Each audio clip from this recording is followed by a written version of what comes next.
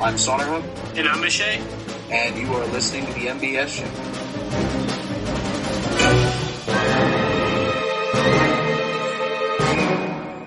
Hello and welcome to the MBS Show, episode 69.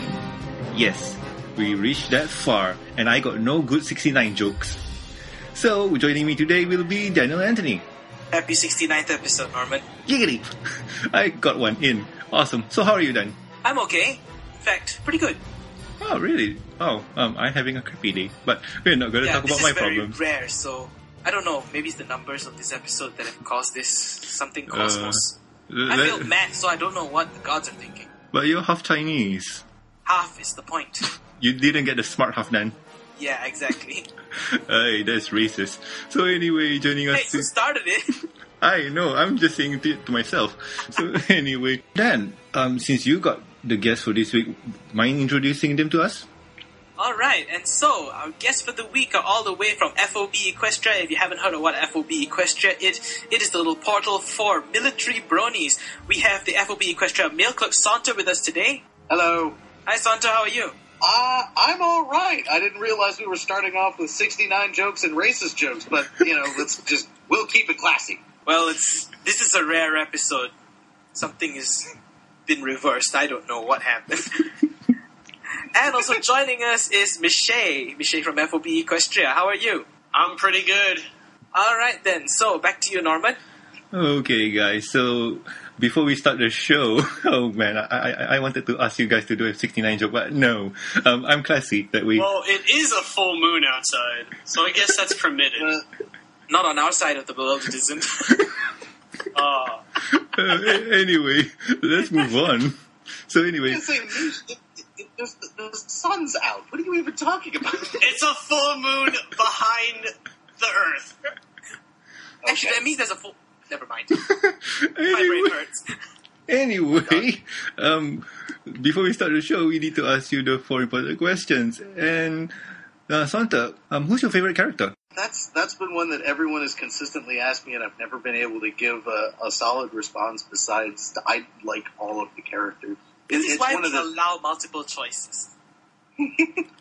Um, I mean, Applejack's pretty nice, but you know, I, every single one of the characters to be is kind of like is, is deep and has their own uh, personality, faults, and benefits, and they're just really all they're really all good characters to me. I don't have a worst pony, and I don't have a favorite pony. I just like all of their all of them for their little individual uh, aspects, basically. Okay, that's a very political way to say it. okay, what about you, mate? Che? Tis a secret. Ah, so the secret pony. So bubble butt then. Uh, how'd you know? Because I I know stuff. I, I know secrets. it was just a wild guess. Is it true? Uh, no. However, she is my favorite background pony. Oh, okay. Well, I, I, so, yep. I- I'll just add bubble butt pony into the list then. Answer withheld. That's a, that's a first. Bubble butt. yeah. Well, um, you should go to Bronyville. Let's see how they uh, deal with you. so the second Oh. question So you is don't want to talk, huh? no, not going there. Then not going there. So anyway, the second question is, what's your favorite episode? So we'll start with Santa. That that that one also was pretty hard, but I guess I'll just exploit your multiple choice answers for this one. Yep. Um, Lesson Zero is is is definitely a, a great one uh, of mine. That I that it, it's really just fantastic all around.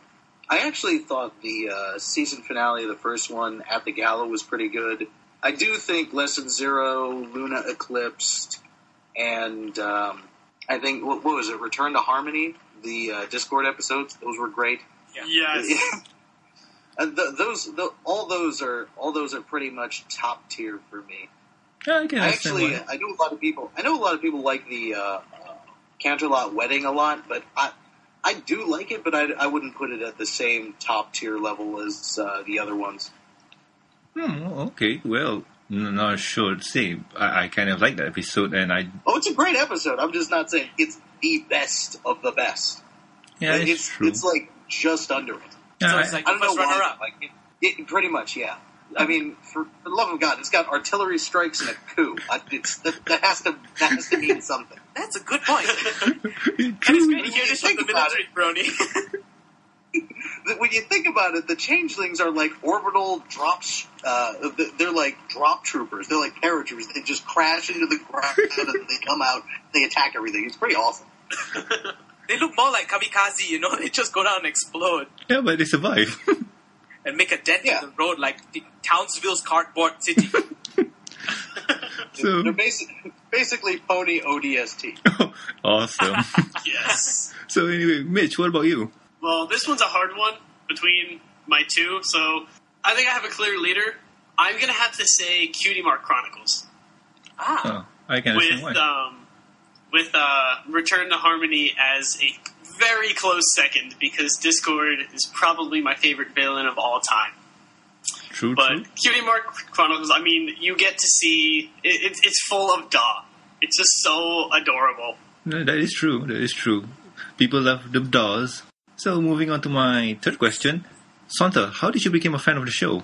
Uh, I became a fan of the show uh, when just before I deployed to Afghanistan, and I was in my barracks room with pretty much nothing to do, and I was wandering through. Uh, I think it was like I was a fan of Fail Failblog at the time, and Ah. eventually, you're right. right. I, I, I wandered into the My Little Brony section, and then I started looking at the the uh, uh, pictures there. and It, it seemed pretty entertaining to me. So at one point, they uh, they released a clip of uh, Dragon Shy, the episode, and it was just a very end clip where uh, Fluttershy starts talking back to the dragon, and uh, if I remember correctly, uh, he starts the she starts talking back to the dragon, and then the the dragon just becomes like a puppy and like gets really small, and I just really remember how much I was laughing when uh, the dragon said.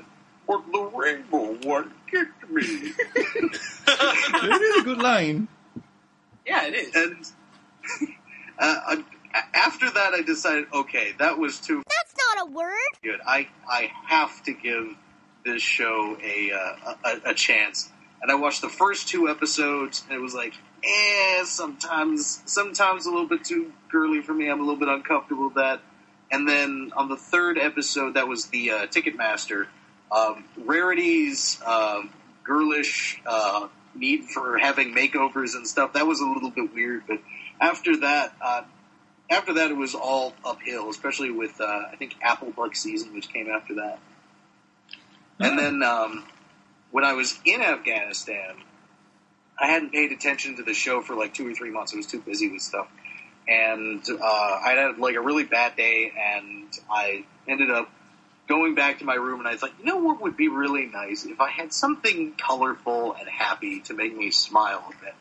And when I got back to my room, I realized, holy crap, I still have all these pony episodes. They're probably still pretty good.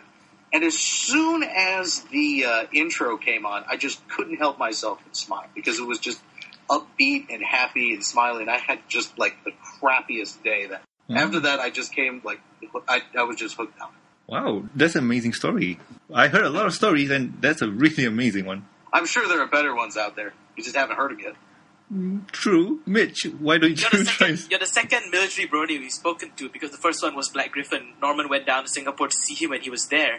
Basically, now we get to hear um, what's life like on you know the military side of things. I didn't really ask GB about that, but yeah, we might ask about we might ask that one later. So anyway, Mitch, um, could you try and beat that one?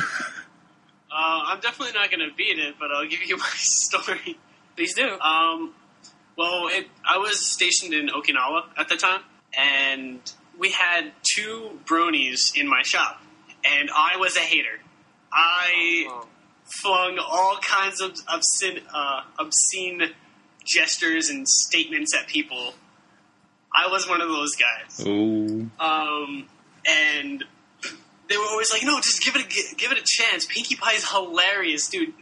And like one day he came up, he's like, "Dude, look at this. She goes insane. Just look at this." I'm like, "What are you talking about?" You know what? Fine. I, there was all this like hubbub about it, and I was like, "You know what? Ah, I'll give it a chance just to look at it for a second. And uh, he showed me um, Party of One, and I saw that, and I'm like, "What the? What is this? Is she, is she on drugs? what is going on?" And then he then he replies, He's like, no, that's just Pinkie Pie. I'm like, what? this is not.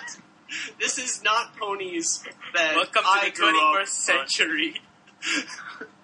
So after that, I, I kind of like I stopped insulting people about it, but I was still kind of edgy about it.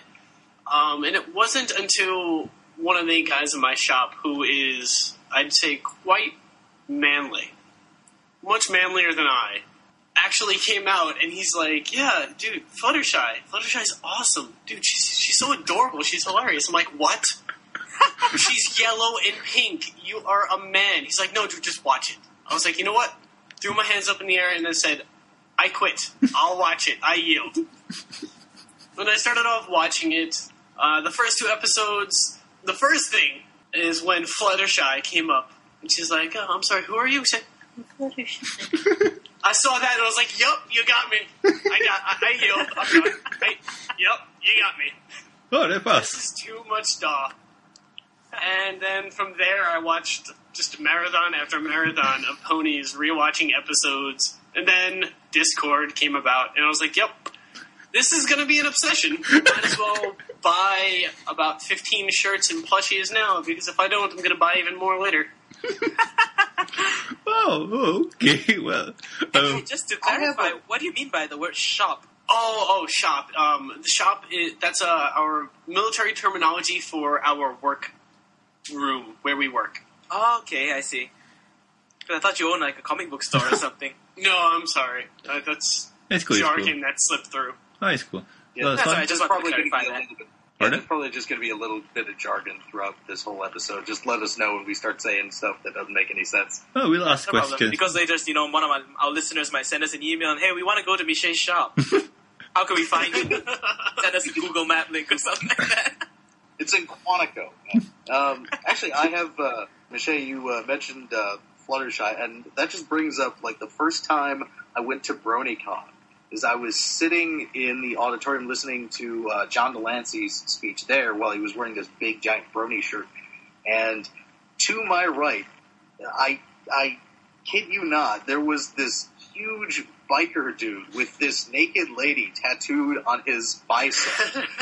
he's holding he's holding and petting this little adorable uh, Fluttershy plushie, and I still have that picture I took. You, you have the so picture, cool. really? I need to can't see post this it 'cause I never- I I can't post it because I never asked I, I never asked uh, him for like permission of the picture, so I don't I don't want to put it up there without violating Uh. privacy. Okay. Oh, it's If cool. I- It's cool. After the show, show way to it to us. you, show it to you. After the show, show us. with him or a picture of him? Uh, took a picture of him. Okay. After the show. on with this him, that'd be enormous more fun. biker dude with like this. He was just this enormous biker dude with the, this like uh, leather like vest and like the uh, the jeans and like boots and he's wearing a bandana. And he's just like I said, he has Oh, this man. picture of like a naked woman tattooed in his bicep. Oh, little Fluttershy. He's just petting Fluttershy. While I listening to can't- John DeLay. I can't wait to see his Harley Davidson outside. it's probably got pink ribbons at the back, and then it'll be like, haters gonna hate written on it. Oh boy. oh, okay. Probably got a switch. That guy is my hero. I want to shake his hand. Maybe he'll be here at BronyCon this year. Oh, that would be awesome. I I we- want a recognize- picture with him. Yeah, then you'll take out that picture and have you seen this man? okay, so moving on to the last uh, four important questions. Santa, uh, what do your family and friends think about your love for the show? The friends that I have pretty much have been just like converted into it. Congratulations. They were like, well, it was weird because one of them actually turned into a brony while I was away. Oh boy. So I never had any contact with him. Um, and he had turned into a brony and he was telling, uh, like my best friend, uh, about it. And my best friend was all like, eh, I don't know. But, you know, maybe I, I might eventually give it a shot. He's a big Doctor Who fan and Oh. a big, a really Ah. big anime. And finally, uh, I came back and I was talking to him uh, after I gotten back from Afghanistan. And I brought up uh, the fact of the show and that I wanted to go to BronyCon. And he was like, you know, so and so was telling me about this show. You know, maybe you should see it. And he went ahead and he saw it, and now all my friends are from. wow. That's a cool I thought story. you'll be like, Santo, what did you put in my drink? No, no. See, he was he was way he, he was way more open minded because he he watched all the uh, the Japanese animes and stuff before, so he had Ah. seen stuff like Sailor Moon and stuff like that. So he he understood the concept that it could be girly, but it could still be awesome. Oh, okay, that's good. That's good. So, Michelle, what about you? Um, well, as for friends, I've managed to convert nearly all of my friends. Oh my. So I have maybe one or two non-brony friends. Okay. But my family is definitely not too open-minded about it. Uh-huh. Yes. Okay. Well, so they make a lot of jokes about it. But it's it's all in good fun. It's not like they hate me over it. It's all just you're a man and you watch a show for little girls, ha ha. And I'm like, no, it's actually really good. And they're like, nah. So it's more of a teasing kind of thing. Oh yes, absolutely. But I, I've tried to get them to watch the show, and they're like, eh, no. that's cool. It's cool. It's not like those, you need Jesus. Oh no, definitely not. I've heard of people who have that. Oh, boys. Um, that's extreme. That is, that is yeah, that's, that's an extreme. But anyway, uh, you said all of your friends. Uh, does this involve any firearms pointing to one person's head? Uh, no, I just have the green thumb of brony conversion, I guess. Wow, all of Share them. with us your secrets. We need to do a special like that. Yeah, in my my old my old shop, I managed to convert all but one of the guys that I worked with into bronies. Don't worry, peer pressure will take care of the rest. Oh, it does. It does. You get one or two, and it just it spreads like the plague. Oh, okay. Plague of pink Love. and purple ponies.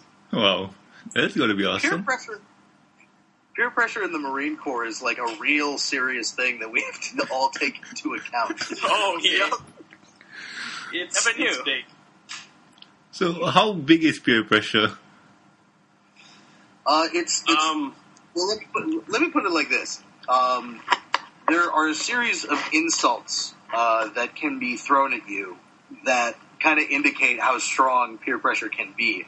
Um, first of all, if someone says, and you'll have to excuse my French here, if someone says you're on your own That's not a word. program, OFP, that's an insult. Oh. If someone looks at you and says, "Oh, look, looky here, we got an individual," that would be an insult. Oh. There's You- you there's just the fact that if you get like six Marines to just stand in a line next to a door, I guarantee you, within the hour, there will be six to ten more Marines standing behind me. So there's a critical mass theory going on. Yeah. Oh my! You just go walk out and stare into the sky for five minutes. oh, really? You just want to be, you just, just want to do your own thing, right? You just want to be an individual. I, I got some for that. Don't worry. I got some for that. Wow. Okay. So, Yeah. Santa knows what I'm talking about. Uh, yeah, I know what you're talking about. It's, it's, it's just that it's just that you know we have to do everything as a team, and everything has to be like related to the unit. And sometimes if you're taking your own individual initiative and it's not helping the unit, then it could be hurting the unit. ah, It's all that. Ah, okay. okay. So, like, People if don't you want to just watch that show. Yeah, so to like, if the, you can, the line- You go ahead, Bish. Uh, like the the way you go about the process of conversion in a unit is you get you convert one person, kind of isolated against everyone else, and then you take you and your buddy and you find somebody else in the unit alone. So it's not two versus one, and you and you got you know Mm. you got the upper hand on him. He joins, and you have three. And you find two people, and you get both of them at the same time. The only So, problem yeah, with that is like when you're probably pulling him to the corner and you're like talking, suddenly he shouts out, "We got no FP over here!" no, no, no. Then, then, then it's the other way around. Well, I started with my roommates, so Well, that's That that's an worked well awesome story. me. That's an So are you awesome. allowed to decorate your rooms and your bunkers? um, to an extent. Okay. Um, I have my own room, and things are a lot less strict than they were in my old unit. Like in my old unit, we couldn't have posters, we couldn't have things really blatantly on display. Everything had to be you know, cleared out from the center. They couldn't inhibit anything. Like there, there was a lot of rules, so I couldn't really put much on display. Uh, but in my new room, uh, I have the entire room to myself, and I have everything. Well, nearly everything I can fit on display. Oh, okay, cool, cool. Yeah, the first, just for uh, making sure the vernacular works, uh, Norman, you said uh, bunkers, but we all live in barracks. Oh. Oh, sorry. bunkers. That's okay. Uh, No. and the other one, we I was actually looking of- for the word barracks. It just slipped my mind. Yeah, that's all right. Uh, we have a couple of people uh, that specifically decorate their things. I know we have one user, APC, who just just completely decks out his entire room with pony gear, and he's got like Twilight Sparkle bed sheets and everything else. and he Oh just doesn't God. mainly That's also me. I have Twilight Sparkle bed sheets and pillowcase and blanket. Get on my level, APC. And field day must be amazing for you. Wow. Oh, it is. oh, yeah, here's another one. Uh, Santa, do you want to explain that one? Uh, just the definition of field day. So field day is uh, for the Marine Corps uh, every Thursday, and it's basically where your command comes in and inspects your room.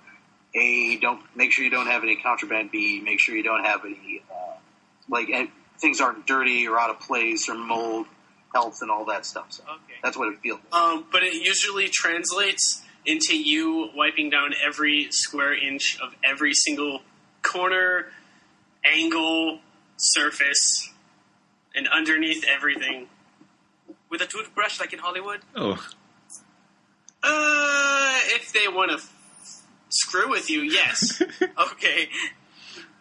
okay. So, well, We've actually been forced to do that a long time ago. Ouch. well, when you're rookies, when you're rookies, before they break you, I can. I had that feeling. I have that feeling. Did you go for Yeah. national service, Norman? No, I was lucky not to. All right. Once again, thanks guys for answering those four important questions, and I think we can move on to the next topic. And the next topic is housekeeping. Dan, nothing, Dan. Uh, there was something, but it's no longer valid. So yeah. Okay, dokie, dokie then. So anyway, um, I have one and it's kind of random. So anyway, um, I recently bought the Element of Harmony book. Um, you know the one from Gray Gray Brown. Um, what? What's the company then? I don't know.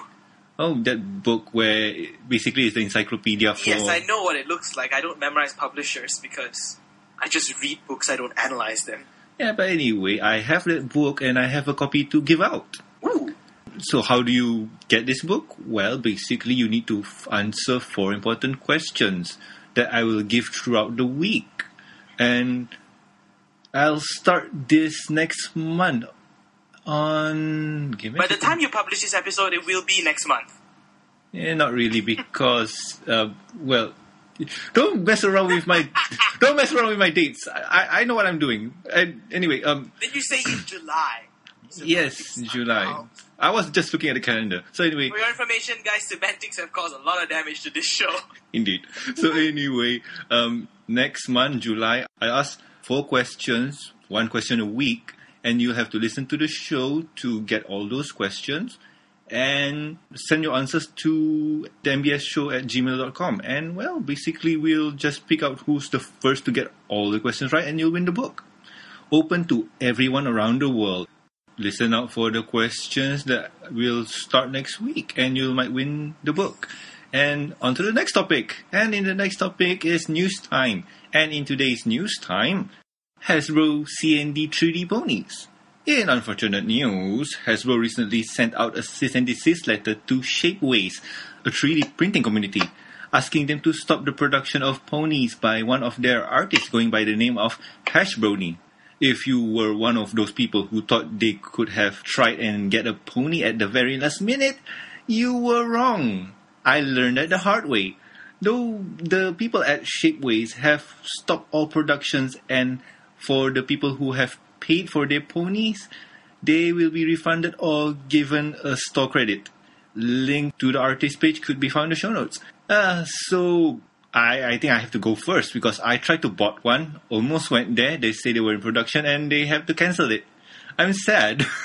the day will come when one of us will get a 3D printer or find somebody within our extended circle of friends who has one, and we'll be like, uh, you know, can we borrow that? Like, what for? Architectural work. Indeed. But anyway, um, Why do you want pink material? um, don't know. But Dan, what do you think?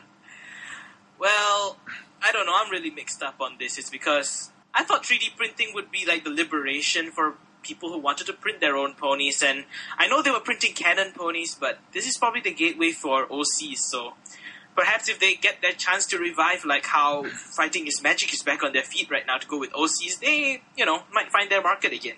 Technically, fighting is magic is not using ponies, but they're using other four-legged animals. They are. I mean, in the terms of OC's region, maybe you know if someone wants to print a Draconequus lamp, which looks pretty badass, like the one that was happening in uh, Keep Calm and Flutter On, I would buy that. And that is actually something that you, if you have a 3D printer and you're listening to, we're interested. Drop me a line at daniel at the mbsshow.com. We need to talk. Wow, name dropping then. So, guys, I'll go with Santa. What do you think? see it, with with Hasbro and what uh, what they're doing um, uh, with all these cease and desist letters. The whole purpose behind what they uh, what they are doing and why they're only like trying to like halfway enforce is they know that a lot of the the attention they get and a lot of the money that they can get through royalties and stuff is going through some of this kind of back these backdoor channels between fans and stuff.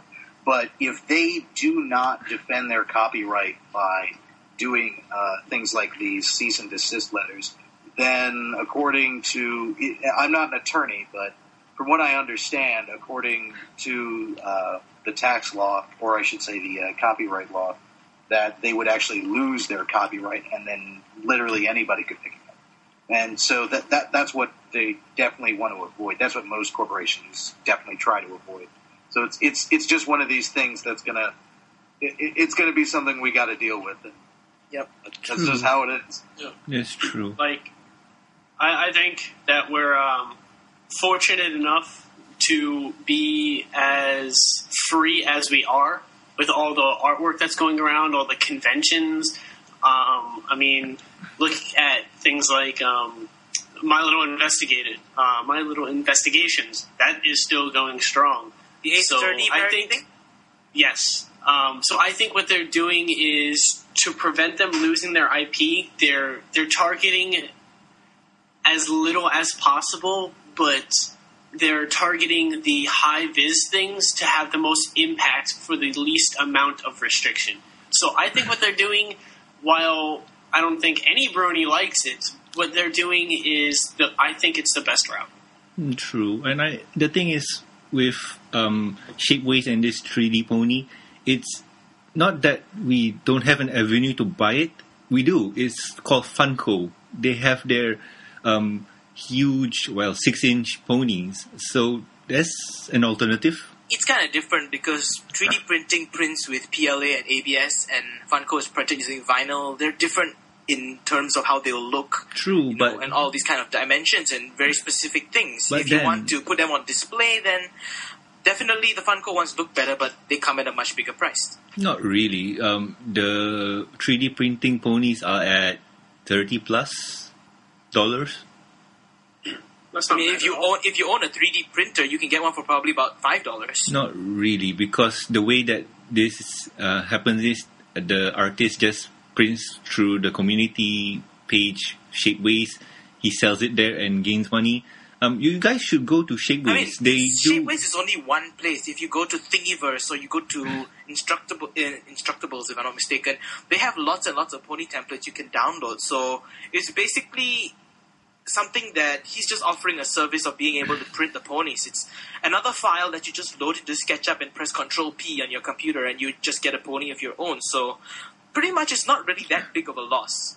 Yeah, but still, um, the thing is, right now, like I said, Hasbro's doing this because this guy is making money out of it. So, I actually beg to differ because um, I think it's because someone's just telling them about it. That- it's just basically the fact that somebody told Hasbro this guy's doing it, and if they don't do anything, they could lose their copyright on those grounds. True that, but nah, there- there's still a lot of things behind the behind this. Like we don't really know; it's all speculation right now. But Hasbro's just doing their job, and Shapeway is just listening to Hasbro because they don't want to get into trouble. That's about it.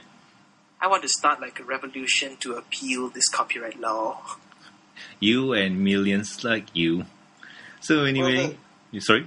The uh, the issue with uh, the U.S. copyright law, like if um, if you were to try and uh, get it like totally repealed, you could then see stuff like Disney making their own stuff. You could see uh, other people basically making a lot of money off of uh, basically what Lauren Faust and Hasbro and the writers teams put together, and things would just kind of like be all over the place. It's it's the idea is that it's supposed to protect the creator of whatever they try to design, and they will be able to get money out of it.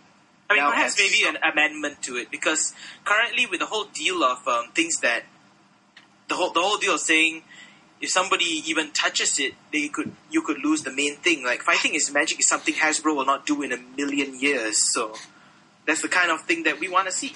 And Well, I believe Uh, that they were sorry. Go ahead.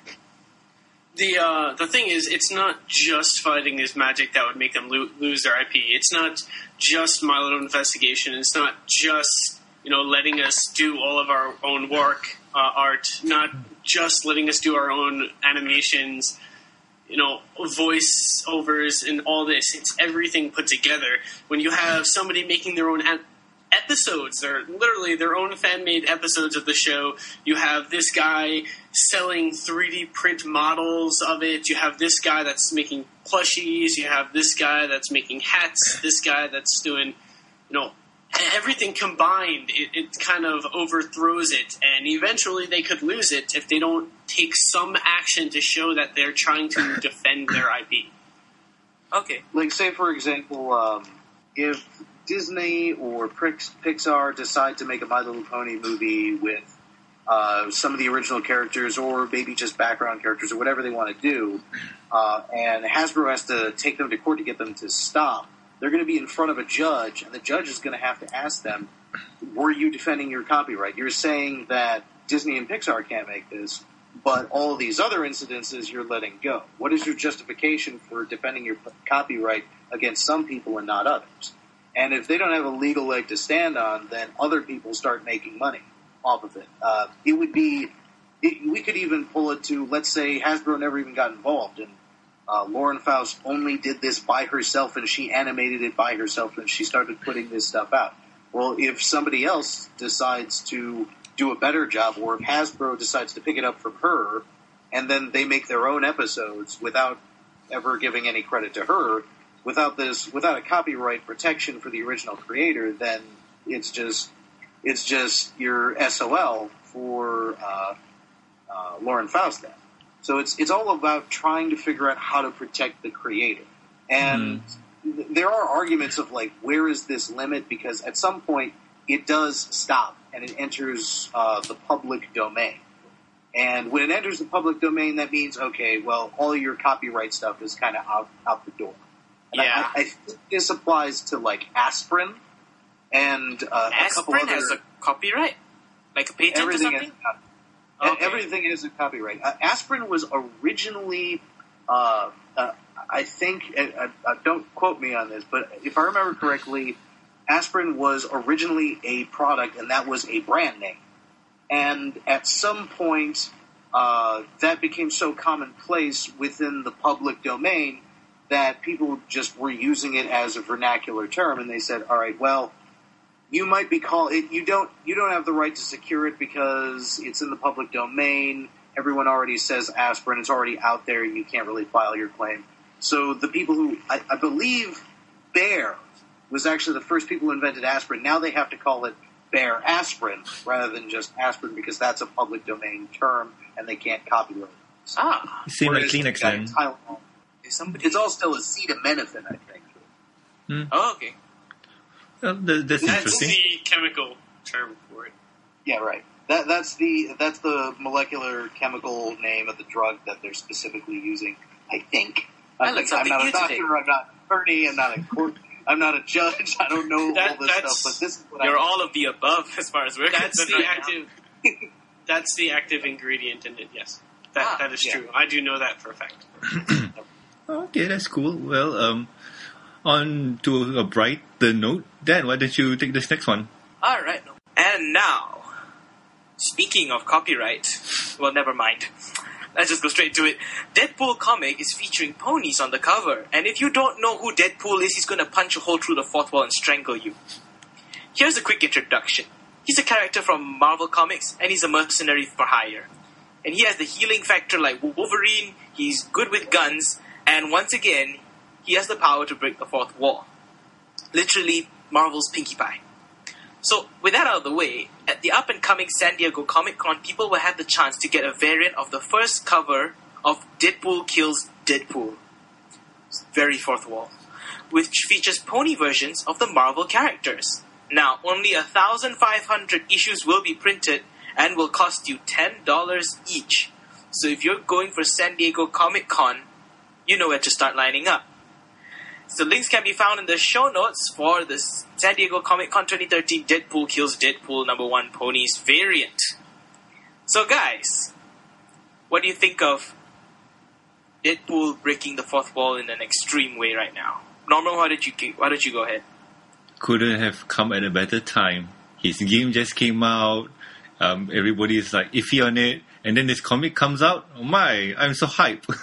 I know that uh, his game just came out. I'm trying to I'm trying to steal it from my friend so I can actually give a review to everybody for it. But uh, I've heard that Pinkie Pie is actually in the game. So I'm really? gonna have to look. No. I, I think, Easter egg? I, I think so. I don't I don't know for sure. I've heard that she is, but I, I do not know. I, I'll have I'm to check it out. googling this. This Right is now. be the best thing since Borderlands 2.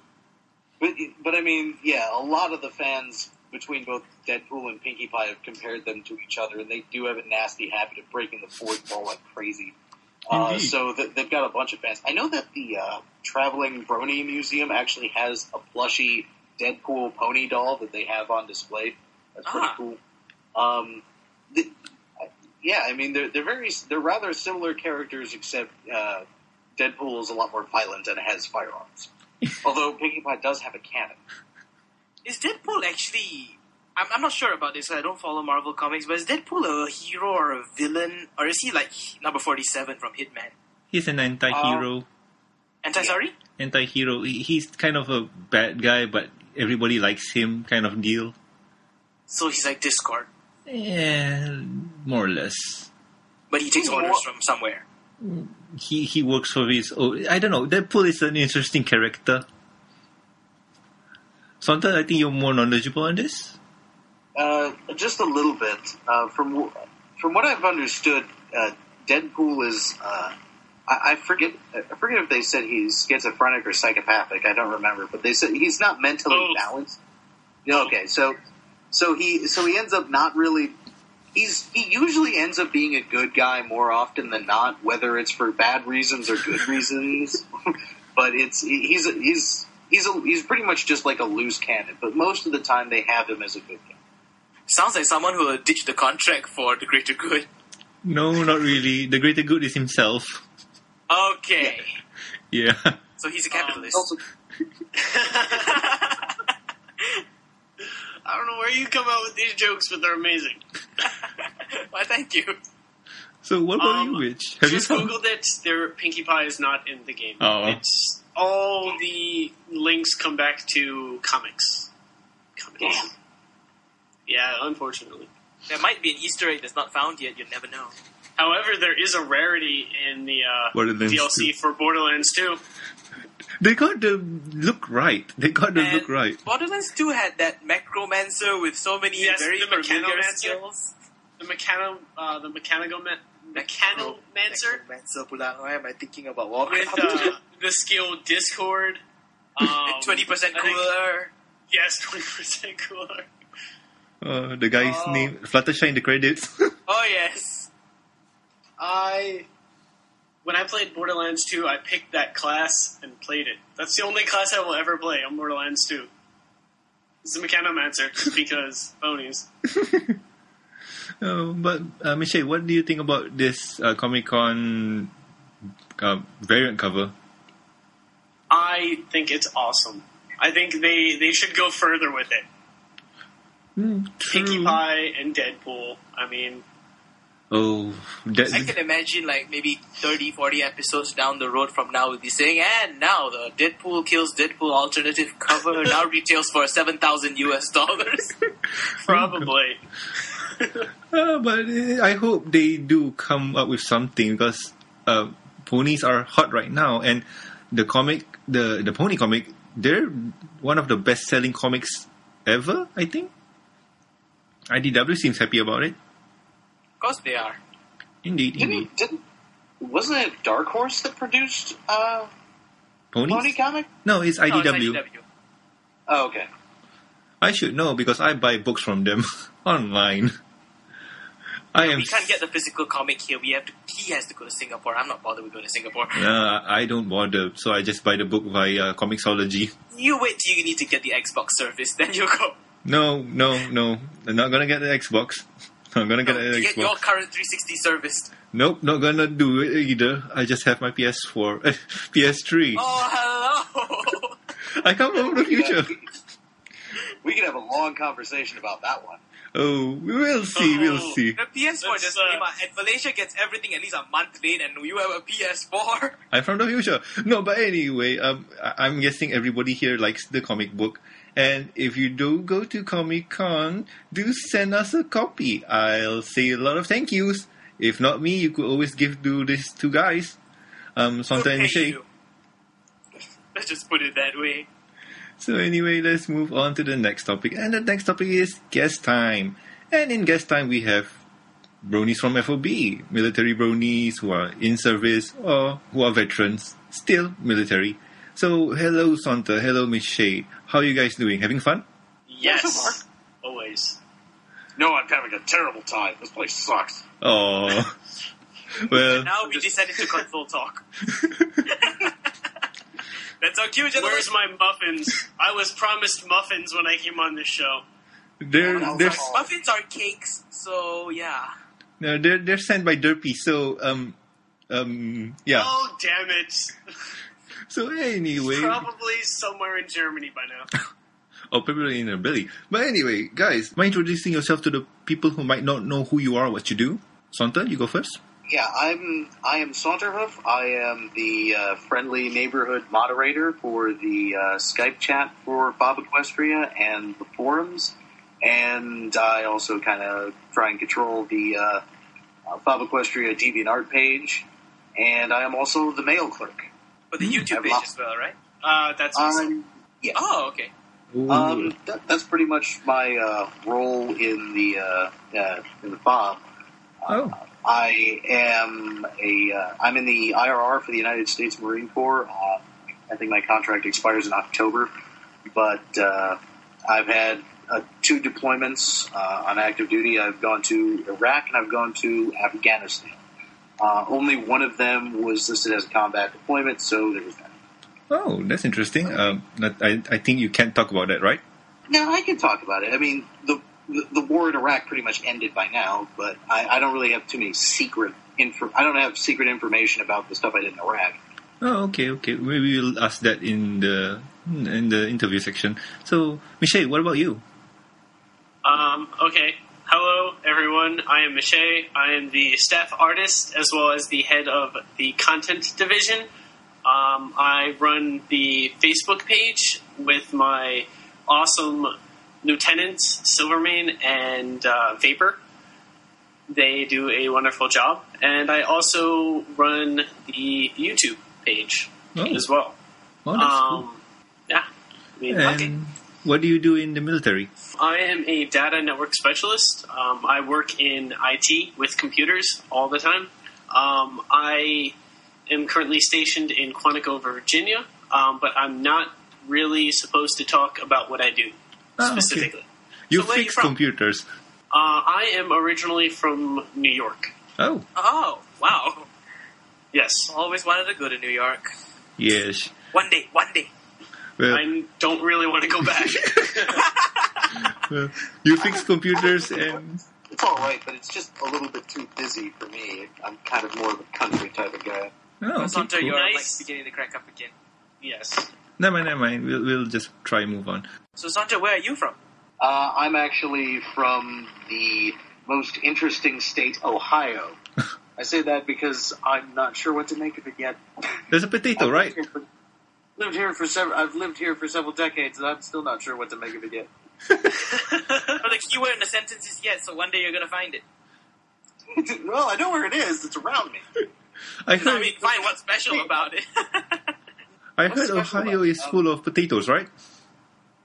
Uh, no. No. Um, Ohio is. I guess Ohio would be special for uh, Idaho's potatoes. Oh. Idaho It's where we Utah. get the potatoes in our Happy Meals. Oh. Um, I, Ohio is mainly known for corn and soy uh, agricultural products. Besides that, uh, it's trying to really do a push into uh, natural gas extraction with uh, fracking procedures. It's I, it's known for um, the Cleveland Rock and Roll Hall of Fame. Oh. Um, okay, uh, the uh, Canton uh, Football Hall of Fame, uh, the Dayton Air Force Base. Uh, I think it had a few Nike missile uh, anti-missile sites uh, back in the uh, 70s and 80s and 60s. Uh, but other than that, it's also mainly known for its its politics, which seems to be rather representative of the uh, nation as a whole. It's I think the state of Ohio has uh, gone in line with the presidential victor. Um, I think for the past like thirty or forty or fifty years, something like that. Uh, it's it's just got the demographics that just seem to match up with the rest of the country, oh. just in general politics. Well, so funny. that- that's pretty much- Sorry. That's pretty much all that Ohio is known for. Besides its uh, rather, rather odd shaped flag, its uh, double pennant flag. Oh. Oh yeah, the double pennant. F- funny that you talk about politics because on Brony Time today we talk about politics and I got no idea what to say. Uh, anyway, Well, I can't answer too much Malaysian politics, so No, I mean, no. that's, You I don't want to. as Let's just put it that way. no, technically it was. American politics, left side or right side, and how Bronies are liberal or not. Yeah, but anyway, uh, I'm since I Oh, got no God, idea. nightmare. Uh, I, I can put Malaysian politics into one sentence. We're a third world country with first world problems. Ouch. Anyway, Dan, why don't you take over this interview? All right then. So uh, first of all, let's just go a little bit um, backwards into what we were doing earlier. So both of you, did you all become Bronies before or after joining the military? Uh, Santa, why Uh, did you after. start? Both after? Uh, Yes. Well, um, both of us enlisted before uh, bronies or Generation 4 ponies even existed. Sure. Ah, okay. Wow. all right. So um, actually, just to start off with, um, let's talk a bit about FOB Equestria. So how did you two meet? Um, Uh, well, actually, we've never met in person, per se. Well, we probably met, but never actually formally acknowledged each other. Um, No, I Fab don't- Equestria, yeah. The idea of FOB Equestria uh, came about during the military Brony luncheon that the uh, Brony Doc held uh, at BronyCon 2012.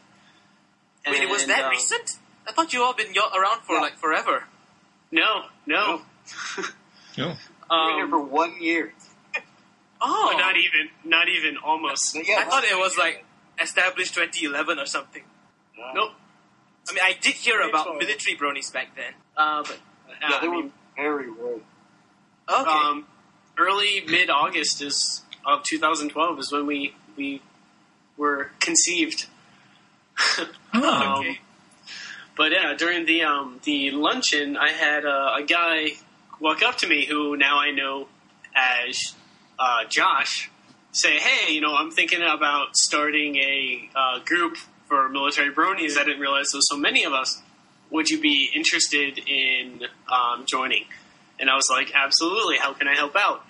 Uh, and he's like, well, we need somebody to draw us some stuff. And I was like, I can draw. and everything after that is history as as in regards of my perspective. I think Saunter, you might have joined a little bit later. I think. No, I pretty Or- much that was Spangle. the time you did. Yeah, it, Yeah. Was, it was Spangle that we brought on later on. Um, I was I was at the same. Yeah, th- so I should elaborate. The uh, Brony uh, BronyCon documentary crew decided that they wanted to hold a luncheon for military service members in uh, BronyCon uh, in 2012, and um, they put that out on uh, Equestria Daily, and they said that they wanted to reserve uh, 20 seats for all the military members that would show up. Well, it or 20, it was our 20 or 40 seats. Well, it turned out 60 of us showed up Woohoo. Whoa. and we didn't even. I- I'll, I'll be honest. When I saw that, I didn't believe that there was more than a dozen uh, military Military bronies. I, I, I honestly didn't think we would even fill it up. And then when we got there, here was like here was like this small platoon-sized element of military bronies just standing like, where the hell did we all come from? Yup. Did you actually see some familiar faces there? Like probably from your own platoon that was probably in the closet. No, no, uh, no, No. See, none of us, none of us were actually there. This is this is the interesting thing about uh, military bronies is we are like this niche of a niche. So, um, the United, I'm, I'm serious though. So, uh, the United States uh, Armed Forces, in and of itself, so it, it doesn't it doesn't draft and it doesn't do conscription. So, it's approximately one percent of the population.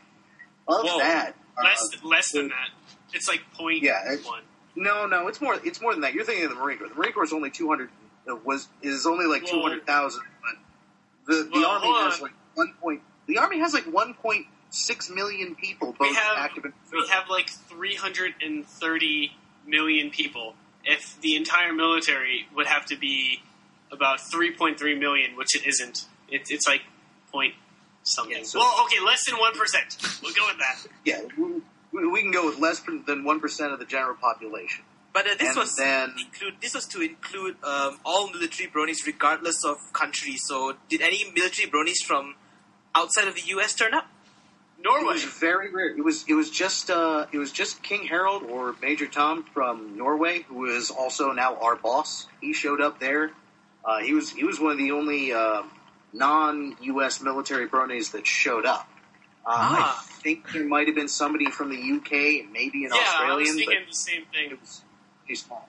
An But, I mean, at the same time, you, you get, you're talking about it. Yeah, you're talking about like a two thousand dollar plane ticket to get, Yes. two thousand U.S. Well, dollars to get. Twenty thousand I, for us to get there. I was stationed in Okinawa at the time, so yes, I spent about two thousand dollars to make it to BronyCon. Wow, I, I, I wish I was early back in the game to do that. It's No. about it's Well- pretty much the same for us. We would have to pay about two thousand, I- and we need a bloody I had- visa as well. I saved up for months to make it there, and I'm so Yeah. happy I did. Greatest day of my life. Guys, um, he, here's, a, just a random question. Did you guys get to meet Tara Strong? Yes, Yes, She uh, showed up. Uh, she uh, went around uh, slapping our wrists with this uh, some Autograph sort of bracelet. yeah, yeah, yeah, yeah. Those Yes. um, and Lauren Faust was there, and the BronyCon uh, documentary uh, staff was John there, de Lancie. and Tom Clancy was there. Wow, you guys are And really they- lucky. They tried walking around and talking to us, and it just turned turned into a giant autograph session. Well, at, I what saw point, at what point didn't everybody start singing at one point? Oh, I- yeah. I, remember I everybody was so. singing. oh yeah, um, Yeah. we- we sang uh, Twilightlicious for Tara Strong. Oh, yeah, Oh. that's right. It, it was in the documentary. So Black Griffin was Yep. there as well. Yeah. Mm, don't think so. Um, Um, You I don't think oh he yeah, was. he hasn't been to a con yet. Yeah, I forgot about that. Yeah, Bla- Black Griffin's uh, interesting because, uh, well, first of all, he's freaking amazing as a musician and a singer. But on top of the fact that uh, he's, He's also an artist. True yeah, indeed. he's also an artist. I just call him the jack of no trades, master of all. He um he he was spending most of his time on board ship because he was in the Navy, so he couldn't really get out and go to any places as much. It just wasn't going to be an option. True, true. So um, He came I- here. No, but, but that was on Came here to to the- Kuala Lumpur. that was on service then. Yeah, he was on service, and then he he was on service, but he still got a chance to come out. And you know, he came out and met with the Bronies, and it was really really memorable. I mean, given that the first foreign Brony that I ever met came from the Navy, that was awesome.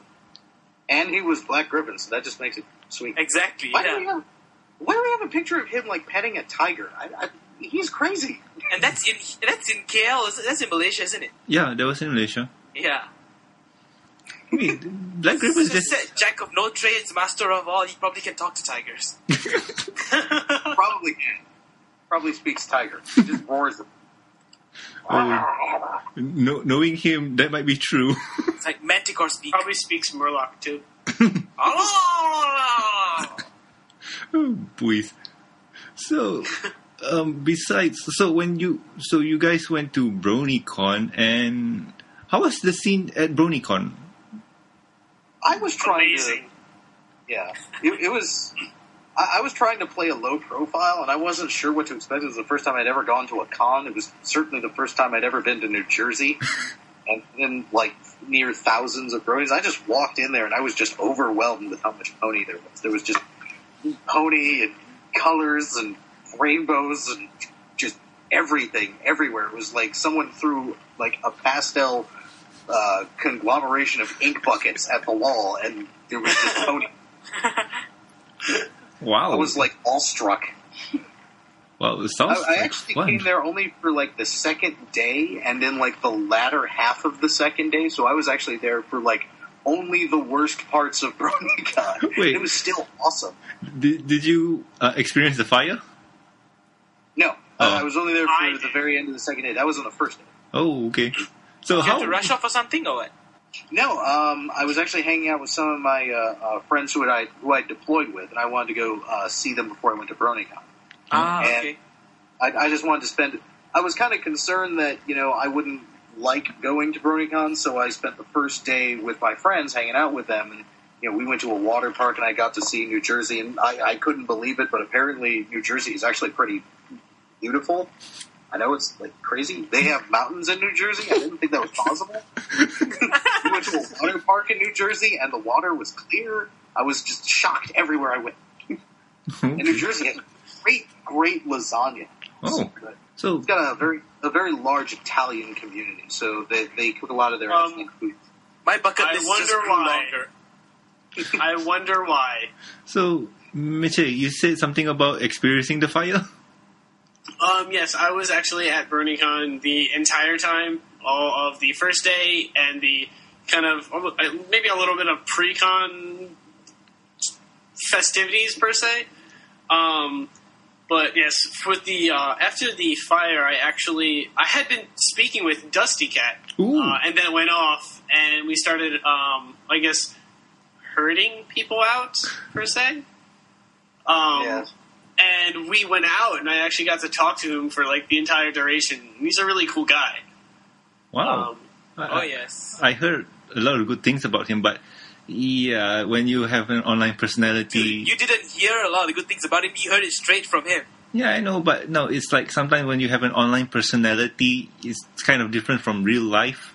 No, but I believe he's actually more of a very sincere person. I mean, not to look down on his age or anything, but people back then didn't really have that kind of differentiation we have right now with online and real life personality. Hmm. He's a very open minded and very, you know, straightforward guy. And I still call him like the fandom's master Yoda. He's like, he gives the best advice and the wisest things I've ever heard that ever came out of this fandom.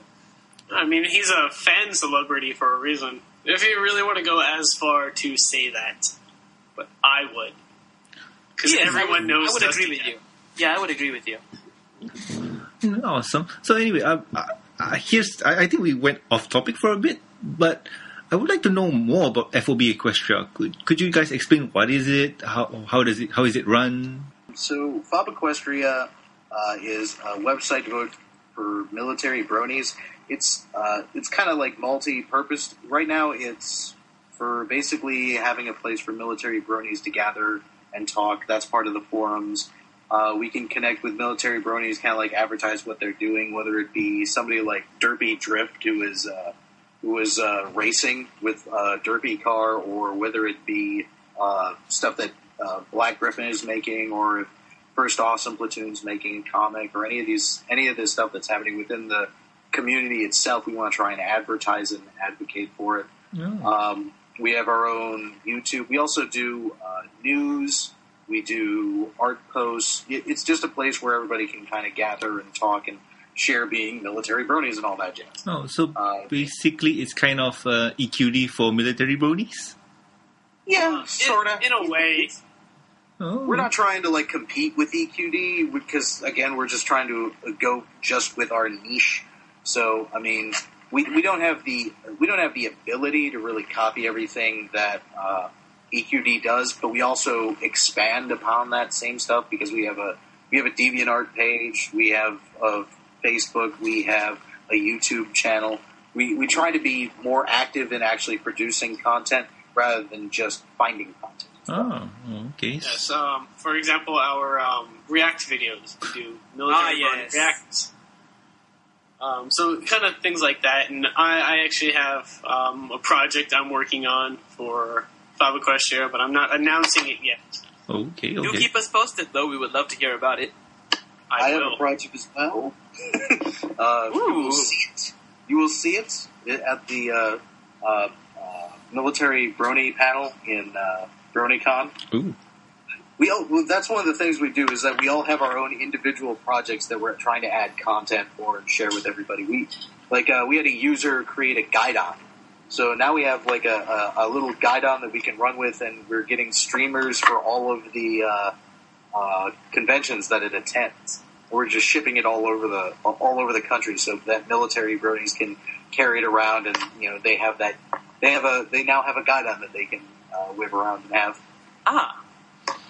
Oh, okay, that's interesting. So, um, FOB just um, kind of enrollment, would I say, or membership. Uh, how many Brony are there from, you know, around the world, outside of the States especially? Uh, yeah, I, I do have an idea. I wrote it down. Um, I, I actually have it posted in the forum under the uh, military, under a topic of military service in the military section. Um, we have a Brony. Uh, I can just start naming off the list. We have Brony from Singapore. We have two or three Bronies from the UK and Scotland. Well, I should say UK. Scotland is within that. Uh, we don't have any from Ireland. We do have one from Austria. We have two or three from Germany. Uh, we have two from Germany within the Bundeswehr. One who was an American stationed in Germany. We had we, I think we have one or two from uh, Okinawa. We have, uh, but they're again stationed in Okinawa. We have, let's see, I Black Griffin's one of them, I guess. um, Black Griffin is at sea, so he's, he's wherever he decides to be. Okay. no, not entirely foreign. I would. Uh, our biggest uh, outside of the United States uh, military members would be the Canadians. I'm pretty sure we have like. Uh, I think we have like ten total or twelve totals that have identified themselves, but only like four or five which are actually active. ah, Um, for total personnel, I know we're just over a hundred enlisted registered users. We only have uh, only a handful of officers. Um, we have about ten to fifteen civilians. We have probably about uh, around ten or fifteen. Uh, we have probably about fifteen Marines. Uh, we Officers have you mean as in policemen? Uh, Uh, no, no. Um, military officers. military officers. Okay. we have probably uh, I think about fifty or sixty uh, U.S. Army uh, soldiers. We have probably another twenty or thirty Air Force and Navy, and I think that's about it. Oh yeah, right. We have one guy. Uh, we have uh, King Harold from Norway, and I think we have another guy from Sweden. Some, You know, I'm impressed that most of you are from the States, but King Harold's the boss. well, he's not Yeah, uh, actually the boss. Oh, he's Josh not is the, the- boss. He's, Oh, he's Josh the second the in command. Oh, okay. Yes. Yes. And then myself, Saunter, uh, Spangle are the assistants. All right. So, We're like the uh, we're like the second tier, and then we have our third tier, which is like GTR, Blackhawk, Silvermane, Tweak, uh, Vapor Blaze, Red Sage, Dizzy Beef, and I'm probably missing somebody else. if you Um, um, if you check on our website on our homepage, we actually have a uh, little diagram um, showing how the um, rank structure is laid out. Yeah, I, I'm looking at it right now. Uh, I'm looking at it right now. So, Josh um, Scorcher is Yeah. on top, and he's uh, Josh Scorcher is the guy who's on top. He is also goes by Commander Firebrand. He's he's the guy who kind of organized it, so we just kind of left him on top. Uh, he also has his own YouTube channel, and I Jesus, I think he has like fifty thousand subscribers or something. like Whoa. that. Yes. Yeah. Oh, content division. So Okay, so um, actually, I, I think this is probably another jargon question, but what's with the title FOB Equestria, or the name? Oh, um, FOB. Um, it's actually pronounced uh, FOB. In the military, we don't say FOB; we just say FOB. Um, Okay. So FOB Equestria. Uh, it stands for Forward Operating Base. Ooh. Um, Wow. Yes, it's basically a, a base in a in a deployed environment. Saunter wants to The, uh, elaborate further on that. So it's like a pocket base or something like that? Uh, something like that. So, in forward, uh, in forward deployed areas, you're going to have uh, at your highest level, you're going to have camps. That's like um, that. That's it's going to be a massive base with thousands of people on it. It's going to have like an airfield and all sorts of stuff. It, it, it's going to be kind of like uh, a base in the United States, and that's going to be, for example, Camp Leatherneck. Um, you, the next level down are FOBs. Those are forward operating bases. Those are smaller. Those may have a small airfield or just like a helipad, and uh, probably not over a thousand people max. But they can go down as small as like maybe a hundred, something like a, a something like a I would say like a regiment-sized element, maybe, or a uh, or a platoon size or a company-sized element would fit in there. And then at your bottom rung, you got your cops, which are your combat, uh, what are they? Com- combat operating posts. I think is what the army calls them. Yeah, Yes. um, those are those are those are your minuscule ones. Those are like only platoon-sized at max. They only have a couple buildings. Sometimes they might only have like 30 people in them. They're like tiny little fire bases with like mortar pits and barbed wire. And that, that's kind of your uh, structure for uh, forward deployed bases. Ah, Ah. okay. That's interesting. So actually, why the forward operating base and not a Camp Equestria or Cobb Equestria? Because Uh, forward operating base sounds so much better than Camp Equestria. Indeed. Most of the time, Eh. at the time, Camp, camp Equestria it sounds like it's like a Boy Scout camp or something. You don't really want it as a summer camp. Cop Equestria is uh, most Meh. of us. Most of Doesn't us sound don't really. right. Most of most most of the time, you never really hear cops in the military because they're so tiny. Mm. um, un, until like a major battle occurs next to them. But the rest of the time, you usually hear uh, the term fob come up, like uh, fob Salerno or fob. I, I have no idea. There's there's a lot of them. But that fob Salerno is the most famous one I know. Hey, um, here's another random question. Um, did any of you guys went to Las Pegasus Unicon? uh, yes, I did.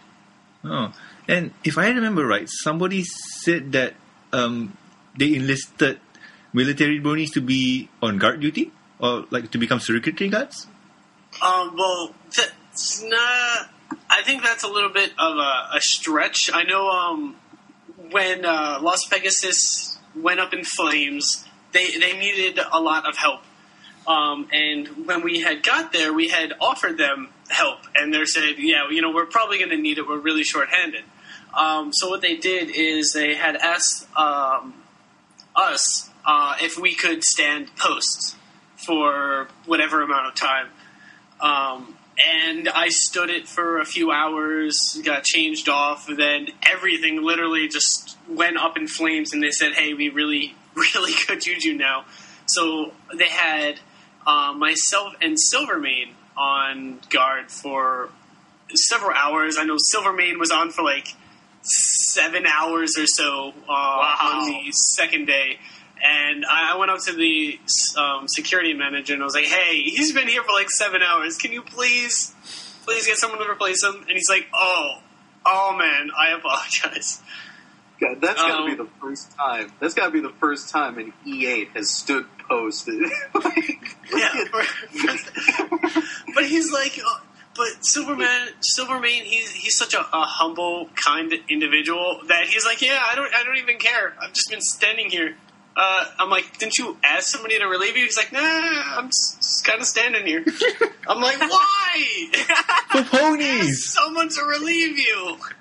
For ponies, it doesn't matter. Celestia.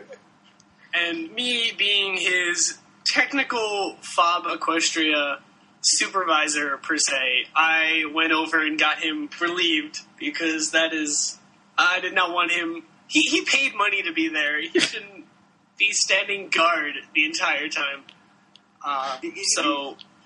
Yeah, I mean, when, when things went up in flames, we, we definitely tried to help out, and I, I think we did a, a good job uh, with it. The the staff were very kind. I mean, they were friendly. They didn't give any orders. They asked us, and we were just happy to help.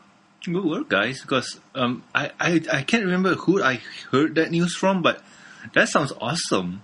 You know, the, the, there is one thing about this this organization that is just absolutely perplexing to me is that on- on the very top level of our command structure, we have the lowest ranking members, and at the very bottom, we have the highest ranking. we we have a we have a lance corporal who's in who's in the band at, as the as the senior most officer, followed by a civilian contractor, and then we have the NCOs uh, at the second tier level of command, and we have uh, you know drill sergeant Tweak and Staff NCOs. Yeah senior was it master senior senior master airman or something is Something, uh, something like that. He's an E8. He's almost as high as it gets.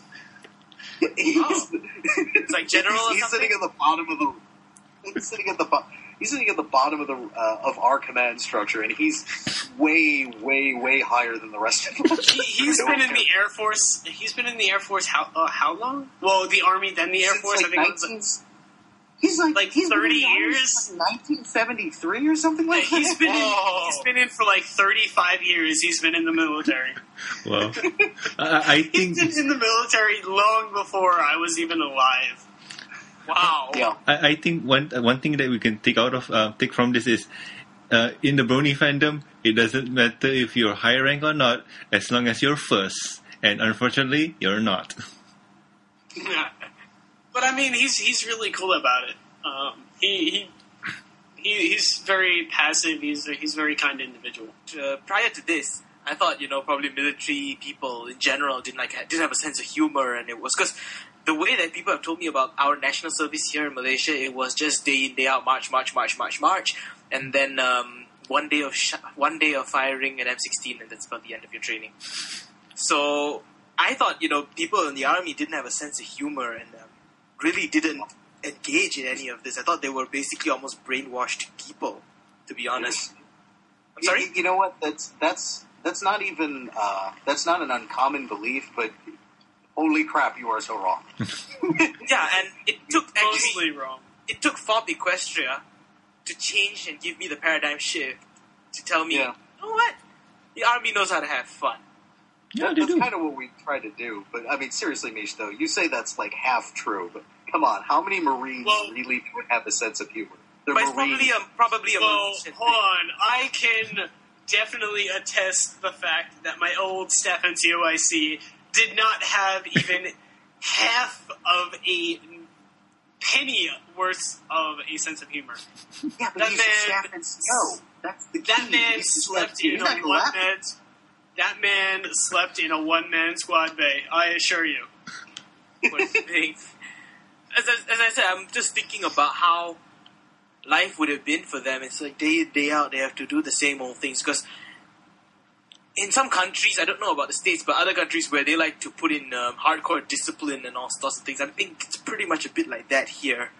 You know, no outside contact, and people die in, you know, local national service Wow. because we don't take care of them properly. They have, you know, rape cases, bully. Sorry? Ooh, that was generation one. regardless generation 1 or generation 200 it still shows and reflects on how we treat our country and how you know things are like th- things are going on here. Probably that's what contributed to my perception my skewed perception of the military. And then black griffin came down here just a few weeks ago and i thought the military band was going to be the same thing. You know people standing up sit down take out drumsticks and you know, take out the guitar, tune the guitar, and stuff like that. It was probably going to be so systematic, it was going to be boring, and I just couldn't wait for it to be over. But it just threw everything out the window. It was it was just amazing, and uh, I, have, I have to say that I, you know I owe a lot of um, I owe a lot of the current perception I have to FOB Equestria. Thank you for you know changing the way I think about the military. That's that's what we try to do.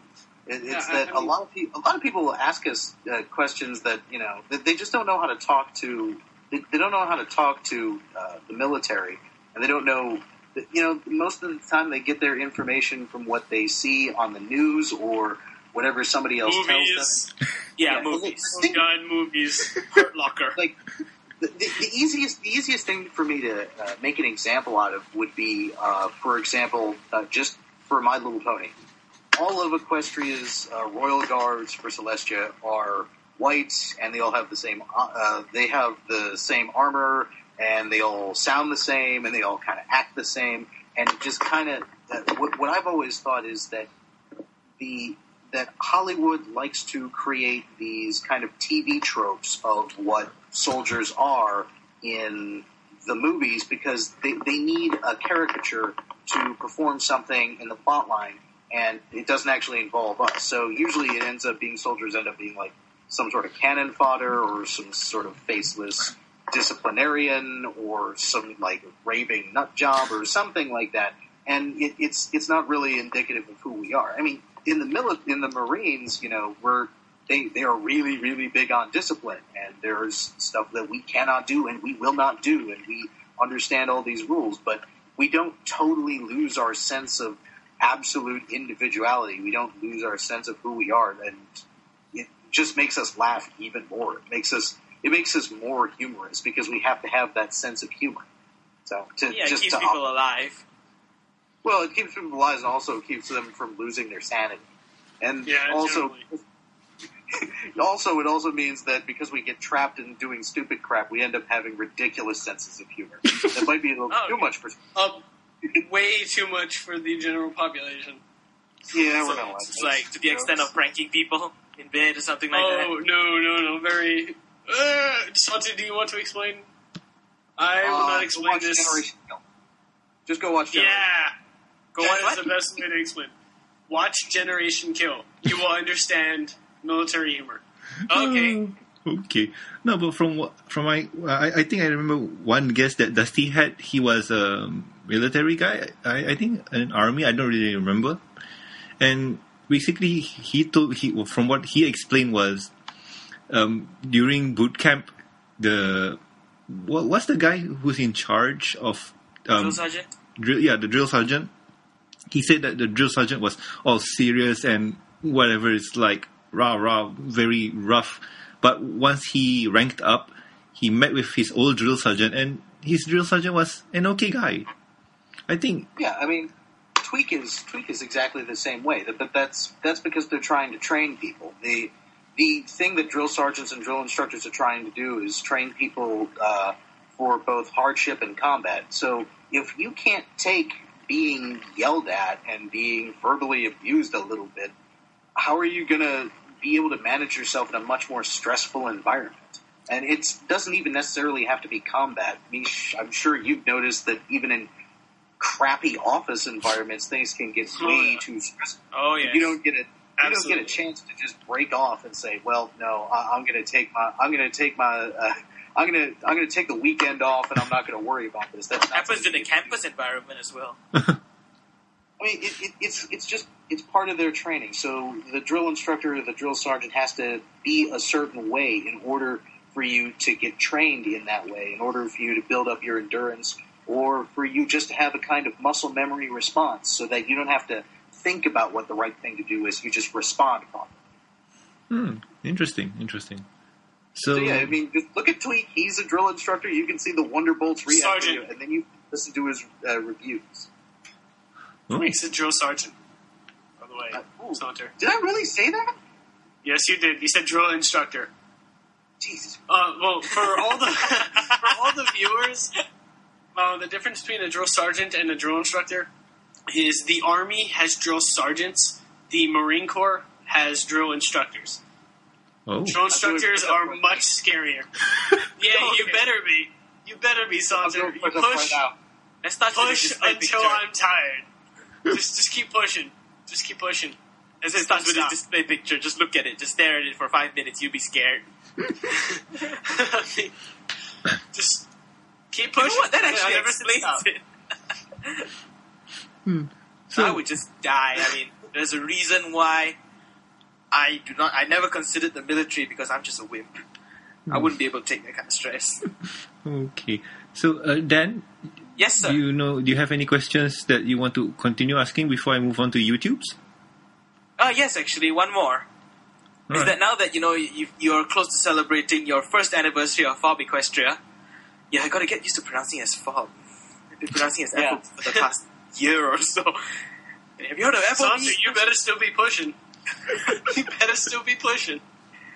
And uh, I was gonna say, uh, are you all gonna have some sort of anniversary jamboree or something where all the military bronies can meet up and talk and chat and Well, have fun? Actually, considering our idea was conceived at the military Brony luncheon for the Brony documentary, we have decided that we were going to, in a show of respect and admiration, have a um, a luncheon to celebrate the I guess the hard works and efforts of the Brony documentary for the fandom, and we are holding a luncheon for them. Wow.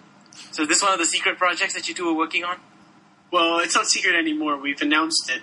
But Oh. yes, we have been working. We've been hard at work trying to arrange the logistics of it. Wow, that's awesome. So who's going to be there besides the film crew? Hopefully, all of the or most of the staff for FOB Equestria. Ah. So, are you still going? But, uh, no, it was Navron who was tentative. Uh, I should be going. That I, I should be uh, going. I know that we're going to be trying to get other people into it as well, but um, we haven't pushed that out too far. We've just kind of announced what we're doing, basically. so King Harold will make an appearance? Yes, he will. Yeah, probably. Yeah. Oh, yeah. that's awesome. Is he still in the military or is he um, veteran? Well, he's a uh, he's kind of. It, it's it's Uh, weird the way well, in, uh, uh, Norway has Norway has um, uh, conscription, so he served um, because it was mandatory. Oh. Uh, but now he Oh, works okay. as a now he works as a, a contractor. Oh, wow. Mm, it's that kind of case. Okay. Okay, Singapore. So I guess now I know why there's Singapore bronies in the military because they all have to go through it as well. Yeah, same here, but um, No, over no, we there, don't have to go through it. They have to. yeah, true. But they have the option of do I want to keep doing this or do I want to GTFO? They have Yeah, to that- keep doing that's, it. If uh, Singapore goes to war, Singapore is the army of Singapore. Yeah, true. uh, I know the Brony that we're know the Brony that we were uh, talking to, Singapore Brony said he's going to serve the rest of, I guess, his uh, uh, conscription period, and then he's probably going to try and move to Vermont, and open up a a uh, Chinese uh, food shop, which is actually pretty awesome because you know Chinese food in the United States is not Chinese food; it's Panda Express, so it's It's? It's, it's like saying, yeah, right. what is correct? It's it's, it's like it's like calling Taco Bell Mexican. food. It, it's really not. Hey, Dan, It doesn't taste like Chinese food. And uh, as a matter of fact, uh, Panda Express like this year opened up a, a few locations in China, so Oh. they call themselves Chinese What? food. No, None the Chinese people recognized it. You know Wait, something? what- Kentucky Fried Chicken in Malaysia isn't really American food. Yeah, I believe that. What? I mean, uh, okay, Kentucky Fried Chicken, not so much. McDonald's here serves porridge. no, it's basically Really? Yeah. Yes. No, uh, Yeah, And ponies for now, but yeah. uh, Dan, for for the um, Chinese food not being Chinese, uh, have you watched Iron Man three yet? Ah, yes. Yeah. Do you know the history of fortune cookies? Yes, I do. yeah, it's basically that. And um, for meals with like over here in McDonald's Malaysia, we have porridge. And if I remember right, um, in KFC China, they have porridge too. It's based on country, really. Yeah, they, they do a lot of their lo- all these chains do a lot of their localizations uh, so that they don't get like driven out of the marketplace. I know, uh, Yeah. You you might recognize that uh, in Japan they don't cook most of their uh, uh, McDonald's uh, hamburgers and cheeseburgers with a lot of grease. They because Not the, at the all. Japanese yeah the Japanese diet doesn't really involve that. But once they started seeing Americans walking through the door, they just fry. They just run up the, the greasers and the fryers and all that stuff. they just line everything with grease for the American show. Oh god. I mean, and also here, another problem here is that I don't know why our McDonald's is a scaled down version. Everything here is smaller than that of the McDonald's outside. We don't have super size. We only have regular and large. But then the thing Um, is, uh, can you finish it? That's the thing. Can you finish it? I can finish ten of those things. Yeah. The thing is, in America, it's not that everybody else is is really small. It's that it's that ours is freaking giant. That's why I'm yet to see one. And the th- thing Would you like a small? Would you like Sorry? a small? How big is it? Thirty-two ounces. Sure. Wait, what? It's not that big, but gross exaggeration. But it, it's pretty bad. Yeah, Well, I the, see. the Angus burger, though, the, the Angus burger is like 800 calories, and it's the size of your hand, fully extended. Yeah, I've had one of And those in it's- it's- Australia. It's, like an inch thick. Wow. they don't even have that here. Okay.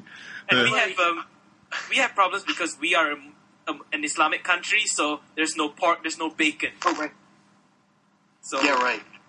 we have to get out of the country if we want to have the pork burger. yeah, like in Thailand, you have you can have the mac McPork. It's the samurai pork. Oh boy.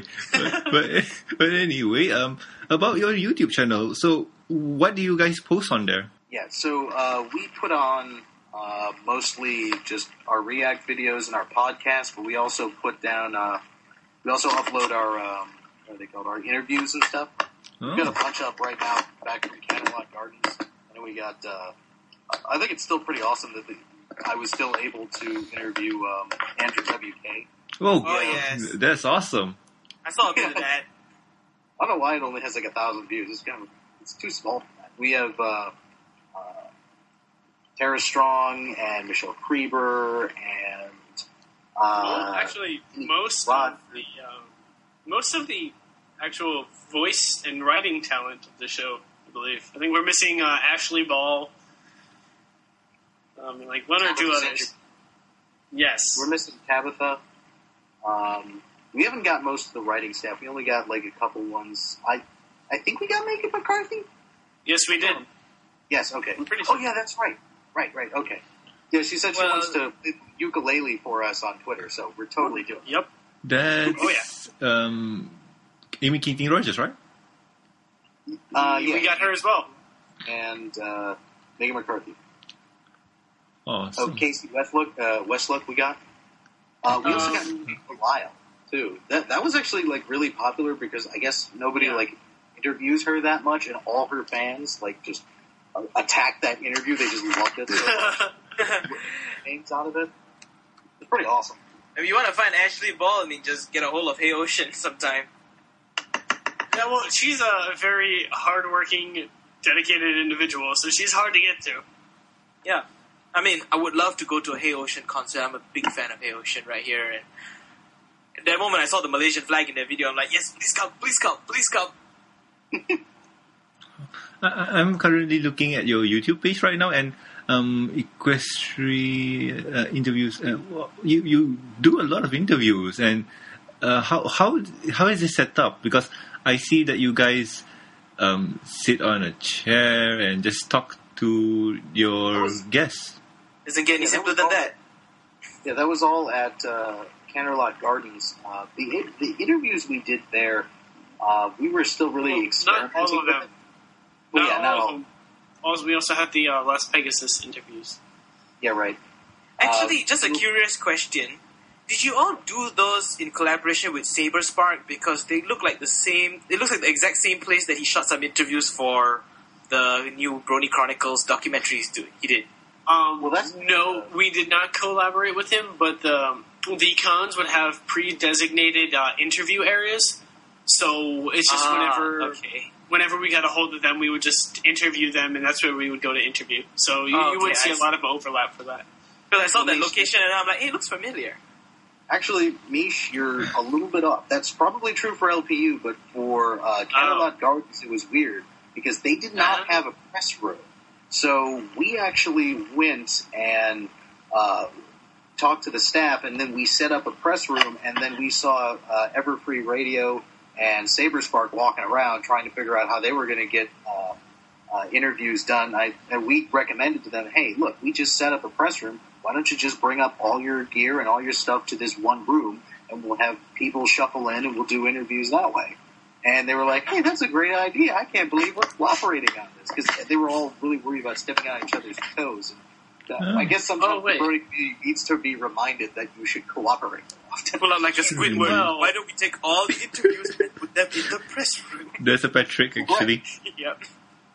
Well, if you're gonna put it that way, then I will elaborate and say that we used um, uh, Celestia radios. Um, what is it? They're a little over. They're like their little sky view. Yeah, it was like a skybox room. Uh, we use that um, to do our interviews because Celestia Radio is awesome, and Shamrock is like the coolest person ever. I need to meet Shamrock. I mean, like, he's in He- Australia, right? Uh, no, he is in I believe Arkansas. Oh, okay, right. I mean, Oh. If he was in Australia, then I should be seeing him soon because we're, like, so close. Closer than the States. And, like, there are people from Australia showing up for BronyCon. That's an embarrassment to me. you, you, you don't have the cash. You just don't have the cash. Don't have the cash, I don't have the luck. Not yet. One day. So I, I'm looking at your page here right now, and um, I don't see the Andrew WK interview. It's just a snippet. It had a Oh. teaser. Uh, no, No, we the should full have the interview should be this whole thing. Oh, unless you have a second FOB Equestria page. Follow Equestria, Uh, bro. Follow Equestria. You know what? I wonder. I wonder if it's on Spangle's page. I wonder if he Oh never- yes, that one was. I remember he he Oh, never yeah. um search uh, Spangle Pony. It should be on his page because um at the time we had uh when we did those interviews we had a copyright claim made What? against us for our um, military bronies react to teens react to My Little Pony. Okay. Um, The Fine Brothers the Fine- you. Yes, they um, did a copyright claim on us saying that we were of- inf- infringing on their copyright of Teens React. And we basically said, no, this is fair use. In the same way that you are using fair use for My Little Pony, we are doing fair use on your React videos. And eventually we won that, um, and they got put back up. Uh, but Spangle never migrated the videos over to our Uh. main channel. I'm gonna have to yell at him for that. Oh, But I mean, it was like, uh, how do you say? Did they come after you because you used the whole concept of people reacting? Um, no, they said um, that our we were demeaning them. That uh, we, we were basically degrading their image. Yeah, it By was doing in a that. way. I mean, Um, it, it, did- it did they kind of highlight also- their narrow-minded selves sometimes. But, But they were also doing the same thing about My Little Pony and having a bunch of immature teenagers kind of going out and saying, "Oh, I wouldn't do this. Like this must be for gay people." Or like something like that. A brony for macaroni. Yeah, I, I would be a brony, but I'd only do it for macaroni. And then my head exploded. yeah. Well, like, uh, do they think I'm on the other side of the street, but I'm not? so, like, we, we won that. Like, it, it wasn't very difficult, but they they made our lives very, Hard. very hard. Okay. Well, we had to. We had to wait thirty days for this crap to get sorted out. Uh, But they suspended your channel or something? Uh, they Oh. made us. Yeah, they had disabled the video, and then um, we couldn't upload videos longer than like ten minutes, and then they Oh, I think- that thing. we won that, and then they put another claim in. Um, What? For like another thirty days, and we I don't think we could upload anything. Isn't wasn't that true, Saunter? I don't remember. It was ridiculous. Like it, it was a while ago, but yes, they, they had put out two copyright claims on us just to try to inhibit us from doing anything that we could to actually get the video up. oh, those jerks. Messing with the military. Uh, but anyway, uh, uh, from what I'm looking here is your, your And channel. uh, next thing, next thing you know, there'll be kids react to military protest. Oh, boys. That's Oh, what all Kids the, re- that's what all commentators want to see. Uh, oh yeah, everyone's like, yeah. no, I want to see a teens react to military bronies react to teens react to My Little Pony. no, that title. Yo, dog, I heard you like reaction videos, so I put a reaction video in your I reaction. just even if it's just like teens react to military bronies, I'm like, these guys are defending our country. that you better believe it. No. Uh, okay, I, I, I have to say something here. I, I, I noticed, uh, I noticed a video here, and the cover picture is really awesome. Um, I think I see Silvermane. Uh, Silvermane, uh, who is it? Silvermane, John de Lancie, Spangle, and myself. I believe it is. Is that the one you're looking for? Yep, and Looking at? Silvermane looks really old. Yeah, like I said, he's been in the military uh, way longer than I've been alive. Also, Silvermane's the one who's been in since the 1970s. yep. Yes. Ah, okay. Wow, and when you when you say old, I, I thought it was how old could he be? Wow, that, that that is old. yeah. Yeah, you can have one of your Oh. questions in your book competition be like, how old is Silvermane? Nobody wins. Uh, uh, from the right, it's Silvermane, Tweak, John de Lancie, um, myself, Mish, uh, or Miche, and Spangle is on the left with the tan Oh, Papa Christian shirt. I'm the odd one out because I had wore the shirt uh, the day before, uh, and it was kind of sweaty, so I put on my Fus Ro Dah shirt. oh, so oh, I seen you in the documentary before. Yes, I am in the documentary. ah, okay. That is awesome. Yay, we're seeing some. We talked to somebody who's in the documentary. We talked to DustyKatt, but this is the second one. And well, also we talked to um Purple Tinker, yeah. and also Tombstone. So nah, Oh yeah, Tombstone's in the documentary as well. Darn, I gotta go and rewatch that. I haven't watched it for so. Yeah, but no, but uh, seriously, In fact, actually, I gotta catch up because I haven't even finished the first episode of the Brony Chronicles. I was so excited about that, and I don't have time now. uh, soon, soon. But anyway, um, how I, I noticed you have a podcast here. So how does it work? How what do you guys talk about? Uh, we generally talk about um, just random things that are going on with the fandom, um, a few military uh, related topics. Um, a few times we've brought on guest speakers. Um, just, I believe, last week or the week before, we brought on the um, some of the guys from Everfree Northwest um, to talk about you know what, what they're what's going on with the con. I haven't seen that. I wasn't a part of it because it had uh, Equestria Girls spoilers. Uh, and I Um, didn't see Equestria Girls until just last night, so I haven't. Ooh. I haven't seen it yet. It hasn't reached here. I have. Oh well, I saw it on YouTube because all the theaters, even remotely close to me, are completely sold out because Oh. it's playing in like two theaters in Richmond, and Richmond is kind of a giant city, so you have every brony within hundred miles trying to flock to these theaters. Oh, honestly speaking, um, I I just heard good things about the movie. It was watched it amazing. Well, not quite, not amazing, but it was really good. Mm-hmm. Uh, I'd say I, it's about an eight or an eight and a half out of ten. That is my perspective of it. I So kind I of thought it was I, That's I, the Rotten Tomatoes uh, ra- rating, I think, about 8.5.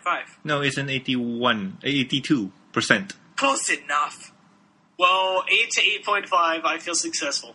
True indeed. I don't know. I mean, uh, I like before the movie came out, everybody was giving it a lot of flack, and personally, for me, I said, "Wait and see." I'm hype, and once I saw it, I want to watch it again. I want to own the Blu-ray and DVD. I'm still giving it flack until I watch it, so yeah, I haven't watched it yet. oh, get on it, Dan. I mean, I- like, I- Why don't you ship me to the United States of America? I just sent you a link. No, thank you. I don't watch cam rips. Uh, no, but Well, I get Like- motion sickness. I, well, actually, the the cam that I saw was one hundred percent stable. Uh, there wasn't a single bit of movement the entire video. It was one of the greatest cams I've ever seen, which is saying isn't not isn't isn't saying much considering I think I've seen like three cams in my life. true, true, I Um, generally don't like to watch things that I haven't paid for. This true. is amazing. There are bronies in every darn profession out there. Uh, disclaimer: We here on the MBS show do not endorse you watching pirated movies or downloading pirated movies. Uh, that's about it. the opinions of this particular individual do not reflect the show, okay? So, yeah. Indeed. I mean, I'm still Yeah, going to see it in myself. theaters, and I'm still probably going to buy the DVD because it's really good, and I would like to see it in decent quality. It's just I blame Hasbro for not putting it out in more than three freaking theaters in the entire state of Virginia.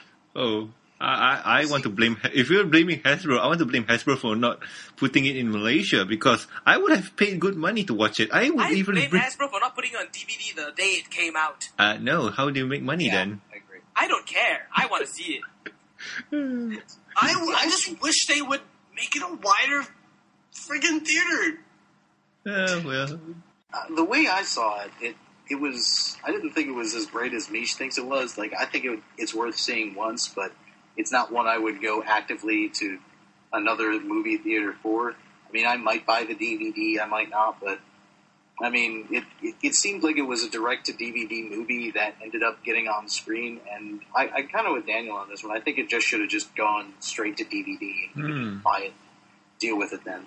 Oh, okay. Well, I, I think I'm with Mitch because um, I find it entertaining and it got me thinking about, oh, this is a cool scene. I want, I want to watch it again because some of the scene they were really awesome. I think it's uh, something about people like you and I who like just like to rewatch certain scenes again and again. Yeah, true. No, I'm I the mean, kind of like- person that if I'm in front of my TV, I will hit the rewind button to see it again. I won't wait until I'm done. Oh like, my. my like my view is I think they either should have had a should have had a wider theater release for it or gone straight to DVD because at the state it is now it's not available to a lot of people who want to see it because they're freaking sold out and there's only a few theaters that they're playing at that I think that was a poor planning on Hasbro's part But do you? Just a question: Is it only in the states right now? Oh, it's also in Canada and Australia. Okay. No, but do you think that this is a plan from Hasbro just to oversaturate the market? um Honestly, I I think that you or me, Mish, go ahead that up. Um, I think it's actually a, a more devious plan. Like I think they might actually release a full sized uh, movie. Because I mean, for God's sakes, Hasbro released the Transformers movies and released um, what you call it, Battleship movies. I honestly, I honestly think that what they did here was they tried to test the market and see that they're just going to put this limited release out. It's not going to make a huge deal of money. They're still going to make most of the money off of the DVDs and the DVD sales, but they're trying to see just how many people they can actually draw to the theaters. And I think this is kind of like a weird market study before they Yeah. actually try to produce a real movie. But Saunter, I think you know there's some merit to that because there has been some news about a live action My Little Pony movie now. Uh, No, it's not gonna happen. It's not. Dan, I, I guarantee Yeah? you, with a high No, no, degree no, of no, no, no. accuracy, it will no, no, no, no, no. I know, I know. I sound like I'm really doing stuff, but this is what you know was on EQD a few days ago. You check the link in the Skype chat. yeah, Dan, that's a discussion. Discussion usually It's an are not. announcement. There's a difference. People don't discuss reject stuff. your reality and supplement my own. Know It's not it going to has- happen. I don't want it to happen either, but it's like Well, uh, my, I think I can agree with Saunter that they, they kind of didn't know what they wanted to do with the movie. They they know that the the Brony fandom is an immense money potential group, the p- potential of income, um, but they didn't want to overcommit to it. So I think they were kind of testing the market with this. But I don't think they're going to release another movie within the next year or so. I think it, it'll be at least another season or two before they think about it. True. Okay. This will take a movie of this scale would take significant amount of time to produce, and if they're gonna, they're really going to want to come up with a bang. That's why, um, like, my theory is the next time that they do a movie, they're going to outsource it to a different studio because they Studio B now is the one that did the animation and they did the um, for the show. They did yes, they did the animation for the show and for Equestrian Girls.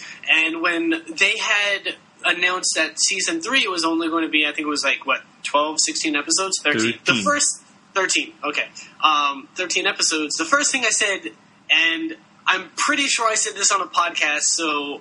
My foresight and psychic abilities are recorded forever in history. I said they're doing this. I guarantee you because they're making a movie. Um, and every- everybody called you crazy back then. with with the what they were doing the. They took a very successful show and they cut it down short. Why would you do that? Well, it's becoming more successful. You wouldn't cut back. The only time you do that is if is due to lack of manpower. Lack of manpower is most likely due because you're putting it somewhere else. So what I think they're going to do is they're going to hire another studio uh, for another movie. So what I'd say we would be looking out for in the future is look for a a pay sum, I guess, um, to another studio for an unknown title. Hmm. Or an unannounced title because they're going to try to keep it really, really hush to try to make a, as big of an impact as possible, but they have to make their financial records and like all these things need to be publicized. So they're gonna. So we'll have clues well in advance. Okay, Um, okay. So um, I think you can say um, if it's true, you said it here first. Yes. So anyway, um, I think we could just move on past the pony questions because um, what else can we talk about ponies? So being guys in the military, being servicemen, you guys do have a lot of free time. So do you guys play video games? Free time. You have a lot of it's free free time? free time. I can empathize with that. Yes. free time. I have I, I have more free time because I'm not active duty, but uh, I suppose I can try and answer these questions. Um, I I do play video games, but I don't have that much wealth to invest in like new games. So I, I I'm still working on trying to play Mass Effect 2. A little bit behind the times. Uh, It's cool, it's cool. No, because um, recently, if you guys didn't heard, um, Microsoft said that the Xbox One was going to be online only before they retracted what they say. So, and their excuse for the servicemen who wanted to buy an Xbox One but couldn't connect online. Stick with the 360. Yeah, Yeah. I was like, "Yup, you are a dumbass." yeah but uh, they retracted that and made the console open, and you can just do whatever you want with it. So, Yeah, um, the um, I was going to actually ask you guys about that if you were really interested in it because I remember that they were specifically saying that they were going to like region lock a lot of places. And one of the things that the military had an issue with that was that okay, so if, you know, Shane was in Okinawa, that means he's got no chance of playing the Xbox One at all because it's not in the proper region for it, and he can't buy one in Japan. So that's just not going to happen. I would assume that I'm pretty sure that Malaysia and Pacific Islands are all just in that same boat where they're if they had stuck with the region lock, you guys would just be SOL.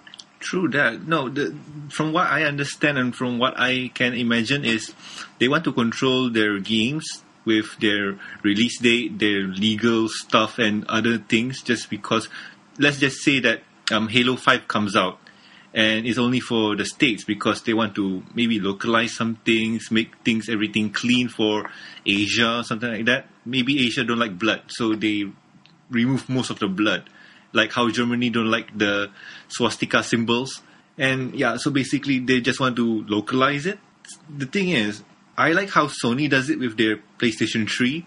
Their console is region free. You can buy any game from wherever you like.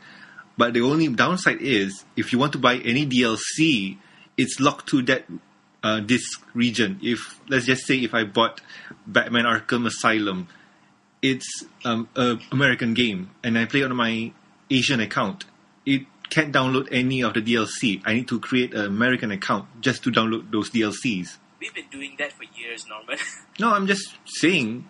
I mean, it's true, but then you know that's the reason why you know they they don't use like IP detection, and I think you know it's like a silent whisper saying, you know what, maybe some people upstairs have said we can't show this to you, but we're gonna let you do it anyway, which is why I think I have an American iTunes account for the very actually. The, only, the main reason I have an American iTunes account is because episode one of My Little Pony was free on the day I became a brony. Hmm. So I owe it to ponies for an American iTunes account. But even my Google account is an American account because there's just significantly more features on it. And you know, you have you can get an Asian account if you want. You can get a Malaysian account if you want. But there's no there's no real significant difference. Yeah, but uh, what I'm saying here for the games is um, Sony is smart because sure buy the games, but you can't download the DLC without a certain account. So you, like me, I wait for the games to come out locally. The thing that I made like a big deal out of or I tried to make a big deal out of, was that I personally think that the Xbox One's plans were ahead of what the market was willing to do. Oh, But I honestly don't believe that the Xbox is in the wrong in what it's planning. Oh, yeah. The- what what they set up, I honestly think is going to be the future in ten. True, but but- the way they handle Okay, it and the, sorry, Saunter, you finish first. But it's not going to help for right now. Oh, yeah. No, I think Nothing detrimental right now. I think what they did is they had the right idea, but they did it all wrong. Yeah, I in think that if you look at like if you look what they're trying to do, they do the exact same things as Steam. Steam has pretty much the same restrictions. However, the problem is Steam says we are an option. You don't need to use us, but if you want to use us, you have to do this. However, Steam offers a tremendous value for customers. I mean, sure, everything is locked to my account, da da da da da, online, DRM, right, but when I can buy Bioshock Bioshock 1, which is a fantastic game, even to this day, when I can get that for like $4, I'm not complaining. true indeed. Not at all. But when Microsoft is going to go out and release a console and not provide any further value to where I would take this over that, being the Xbox One, the Xbone, um, as opposed to the PlayStation 4, which will offer most of the same games, but without those restrictions. So whereas Steam, I can get a game for four dollars, but on a console I have to pay full price. Why am I going to go for the console that op- that requires and demands all these restrictions when I can go for the one that doesn't? They had the right idea, but poor execution in that me watching cable on my Xbone, well, that's not something I care about. I can do that on my PC. You know, requiring the Kinect at all time. Well, I don't see that as a good thing because I don't care about the Kinect. That for me, that is yeah. To me, that that is an issue because it's required to be used. I can't do. I can't use a regular power button. I have to say Xbox on. I don't want to have to say that. So to me, that is an issue with it as opposed to a feature. And I think that's what they. Now that you mentioned it, I think I'm gonna run around my neighborhood shouting Xbox One, Xbox on. You know, it's just like Xbone. next two at two in the morning, I'll be like Xbox on. Oh, that would be horrible. no, you, you want to know what's really horrible is when you're playing your game, and let's just say you're on the last level of Halo on the hardest difficulty there is, legendary, I think. You're you're just playing, and then like your little brother or sister, Xbox off. Or incoming call from Norman Sanzo because Skype is now on the Xbox. Oh God, have fun. my, my biggest problem with the Xbone is not its features, it's security risks. I have a big interest in, you know, network security, Oh. in penetration testing. There's a reason that you're supposed to put black tape over a webcam when you're not using it because they are so easy to hack.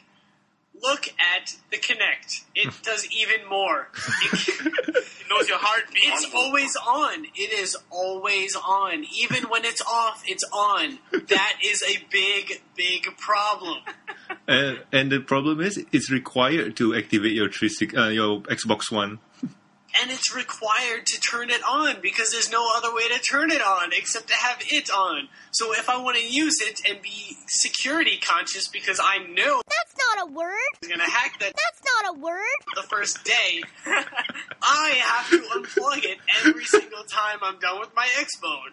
I'm Wear a not paper bag. have that. you, you you know, um, Honestly, what happens if you just take the Kinect and point it at the wall? Um, no, it won't. It won't detect it. It sends your uh, body algorithm, your Okay. heartbeat, heart rates. It it does all those fancy stuff. And then you can wear a paper bag and it still senses you, right? So If I'm not mistaken, it's can see through stuff. yeah, but they're not gonna see your photographic face, isn't it? It's not an it's not an X-ray, it's an Xbox. I don't know. I heard horror stories. When It's an imager. It can't really see through anything. even if it's even if it's faced towards the wall, it can still hear everything that's going on. Oh, I I still forgot. have a problem with that. Oh, just imagine those happy happy couch time with your loved one.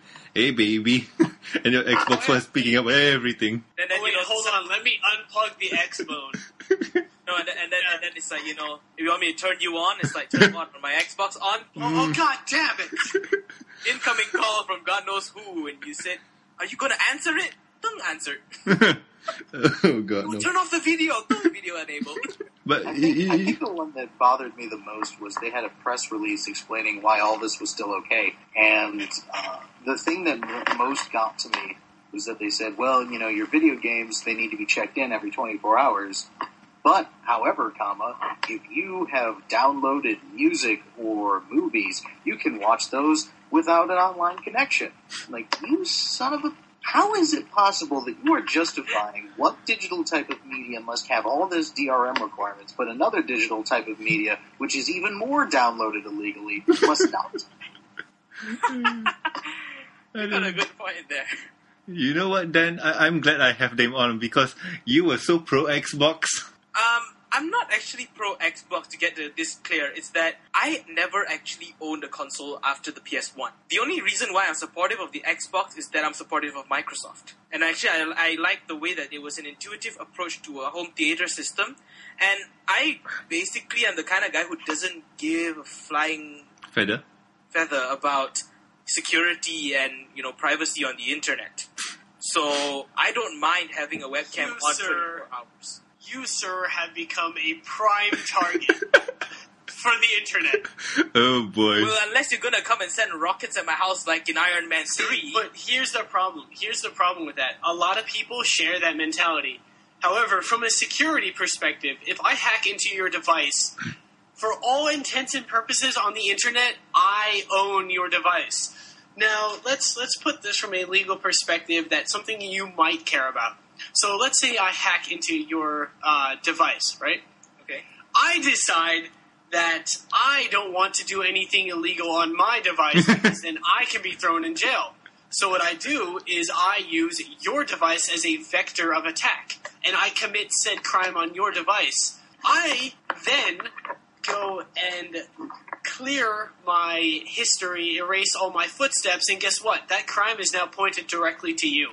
How are you going to justify that? Oh, I never did this. Well, it shows right here your MAC address, your IP. I traced it back to your device going into your house. Guess hmm. what? You now go to jail for something I did. That is why you should be always mindful for internet security. Miche doesn't even have to make it illegal. It could be as simple as he starts you know, using your Xbox to like cheat on Call of Duty or something, and then your Xbox Live account just gets banned, or your Xbox Oh, yeah. Mac address gets banned.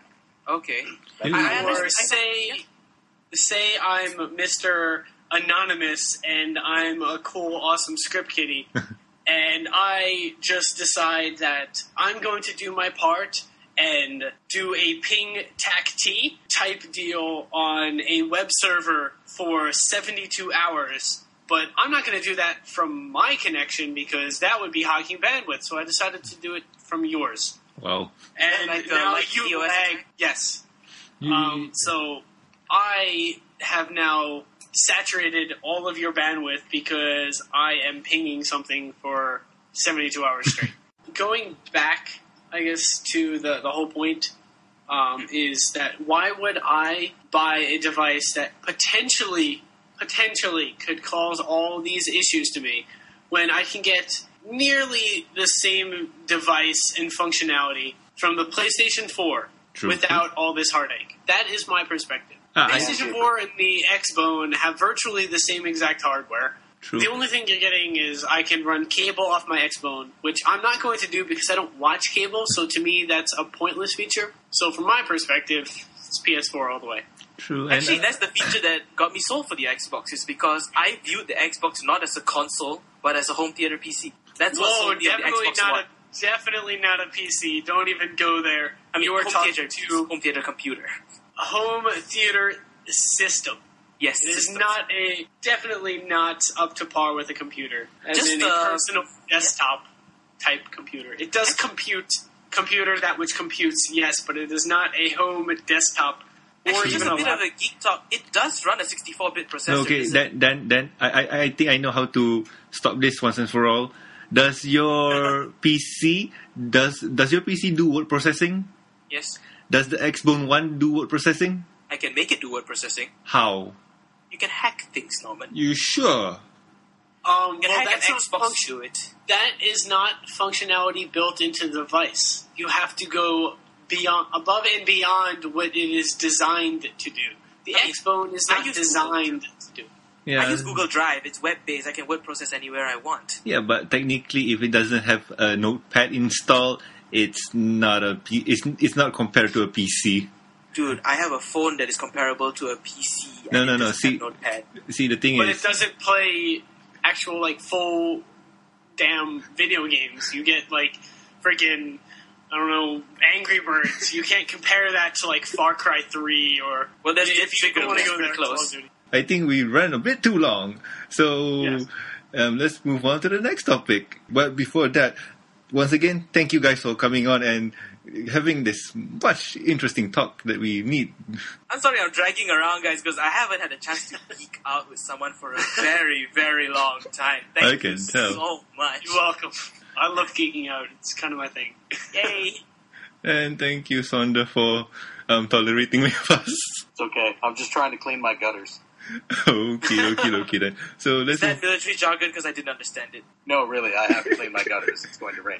Oh, okay, okay. Oh, oh, oh, right, Okay, okay, right. okay then. So anyway, let's move on to the next topic. and the next topic is shoutouts. Uh, my shoutout goes to you, uh, Sotha and Miche. Uh, wow, I am not talking right today, uh, Miche. So thanks for coming on. Thanks for talking with us. Thanks for sharing your experience with us. You're welcome. I was very happy to be here. You are still welcome. And Dan, what about you? I'd like to shout out to both of you as well, Sandra. Thank you very much for you know getting back to me on the request that I sent out quite a while ago. Yeah, I was wondering about that. yeah, because um, how do you say they were gonna respond, and I was looking maybe one week we couldn't find a guest, then we could just call on FOB, and then uh, FOB question. Ah! Get used to. FOB is still okay. FOB is still okay. No, when it comes to FOB, I think fright on board, so that's different terminology altogether. and I think that this has been a really, really awesome episode, and we learned so much about how you know bronies are a totally different demographic of bronies. It's been really, it's really been an honor to have you all on. Well, thank you. Thank you very much. And another shout out to King Harold because I think he responded to the first email. Yay. So guys, And one last one, actually, one more shout out, yeah, to Paleo and Saberspark for the Brony Chronicles. didn't you just give them a shout out last week? Yes, because last week I hadn't watched it yet, and now that I've watched a part of it, excellent job, guys. I love it. Okay. So what about you guys? Uh, Santa, you got any shout outs to give out to? I've pretty much given a shout out to all, pretty much the entire staff and all of the affiliated uh, groups that are also military burners as well that I can think of. Ah, okay, cool. So what about you, Miche? Uh, I guess I'll give a, uh, a shout out to First Awesome Platoon. Uh, they do a lot of really good work, and they've uh, helped out FOB Equestria for, uh, a few times. And I'm also a staff member um, on uh, First Awesome Platoon. So All right. What is First Awesome Platoon? just a short synopsis, I guess. Um, they are a group of civilians and military who do uh, pony Vietnam era uh, comics. Wow. Oh my. Okay, you gotta check that out. Yes, You he's drop a- quite a good artist. You drop us a link, we'll put it in the show notes. Uh, sure. Okie dokie dokie then. So, if you have any questions, concerns, or suggestions for the show, you can always contact us at mbsshow at gmail.com. And that is also the same address for the contest. And also, if you would like to email us personally, you can reach me at norman at mbsshow.com and Daniel at daniel at mbsshow.com. And also Twitter. We are on Twitter. Twitter is active. You should tweet us. And the show's Twitter page is at the MBS Show. And I'm at Norman Sanzo. I'm at Saint Pinky, S T P I N K I E. And what about you guys? Do you guys have Twitter? Um, I do not. Well, I do, but I never really use it. So I guess no. Okay. What about you, Sandra? Well, there is a there is a FOB Equestria Twitter. Uh, it's just at FOB Equestria, F O B E Q uh, Estria. Okay. F O B E Q I R S T R I A. All right. Thank you. I- I'll add that in the show notes. That's awesome. So anyway, and also please subscribe and rate us on iTunes and also like our Facebook page. Um, by the way, talking about iTunes and Facebook page, you guys also have an iTunes and Facebook page, right? Uh, wait, I- iTunes? For your podcast. No, you, your podcast. Oh, Just oh YouTube no, and uh, we upload our podcast to our YouTube page.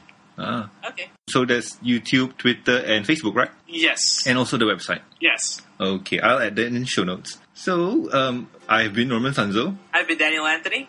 Santa. Soldier. Sorry, my internet's breaking. Saunter Hoof. and this is Michelle. And we'll see you next week. Bye, guys. Bye bye. See ya. Eh. You know when I first saw you, I did not know it could be true. Someone on the ground like me could be with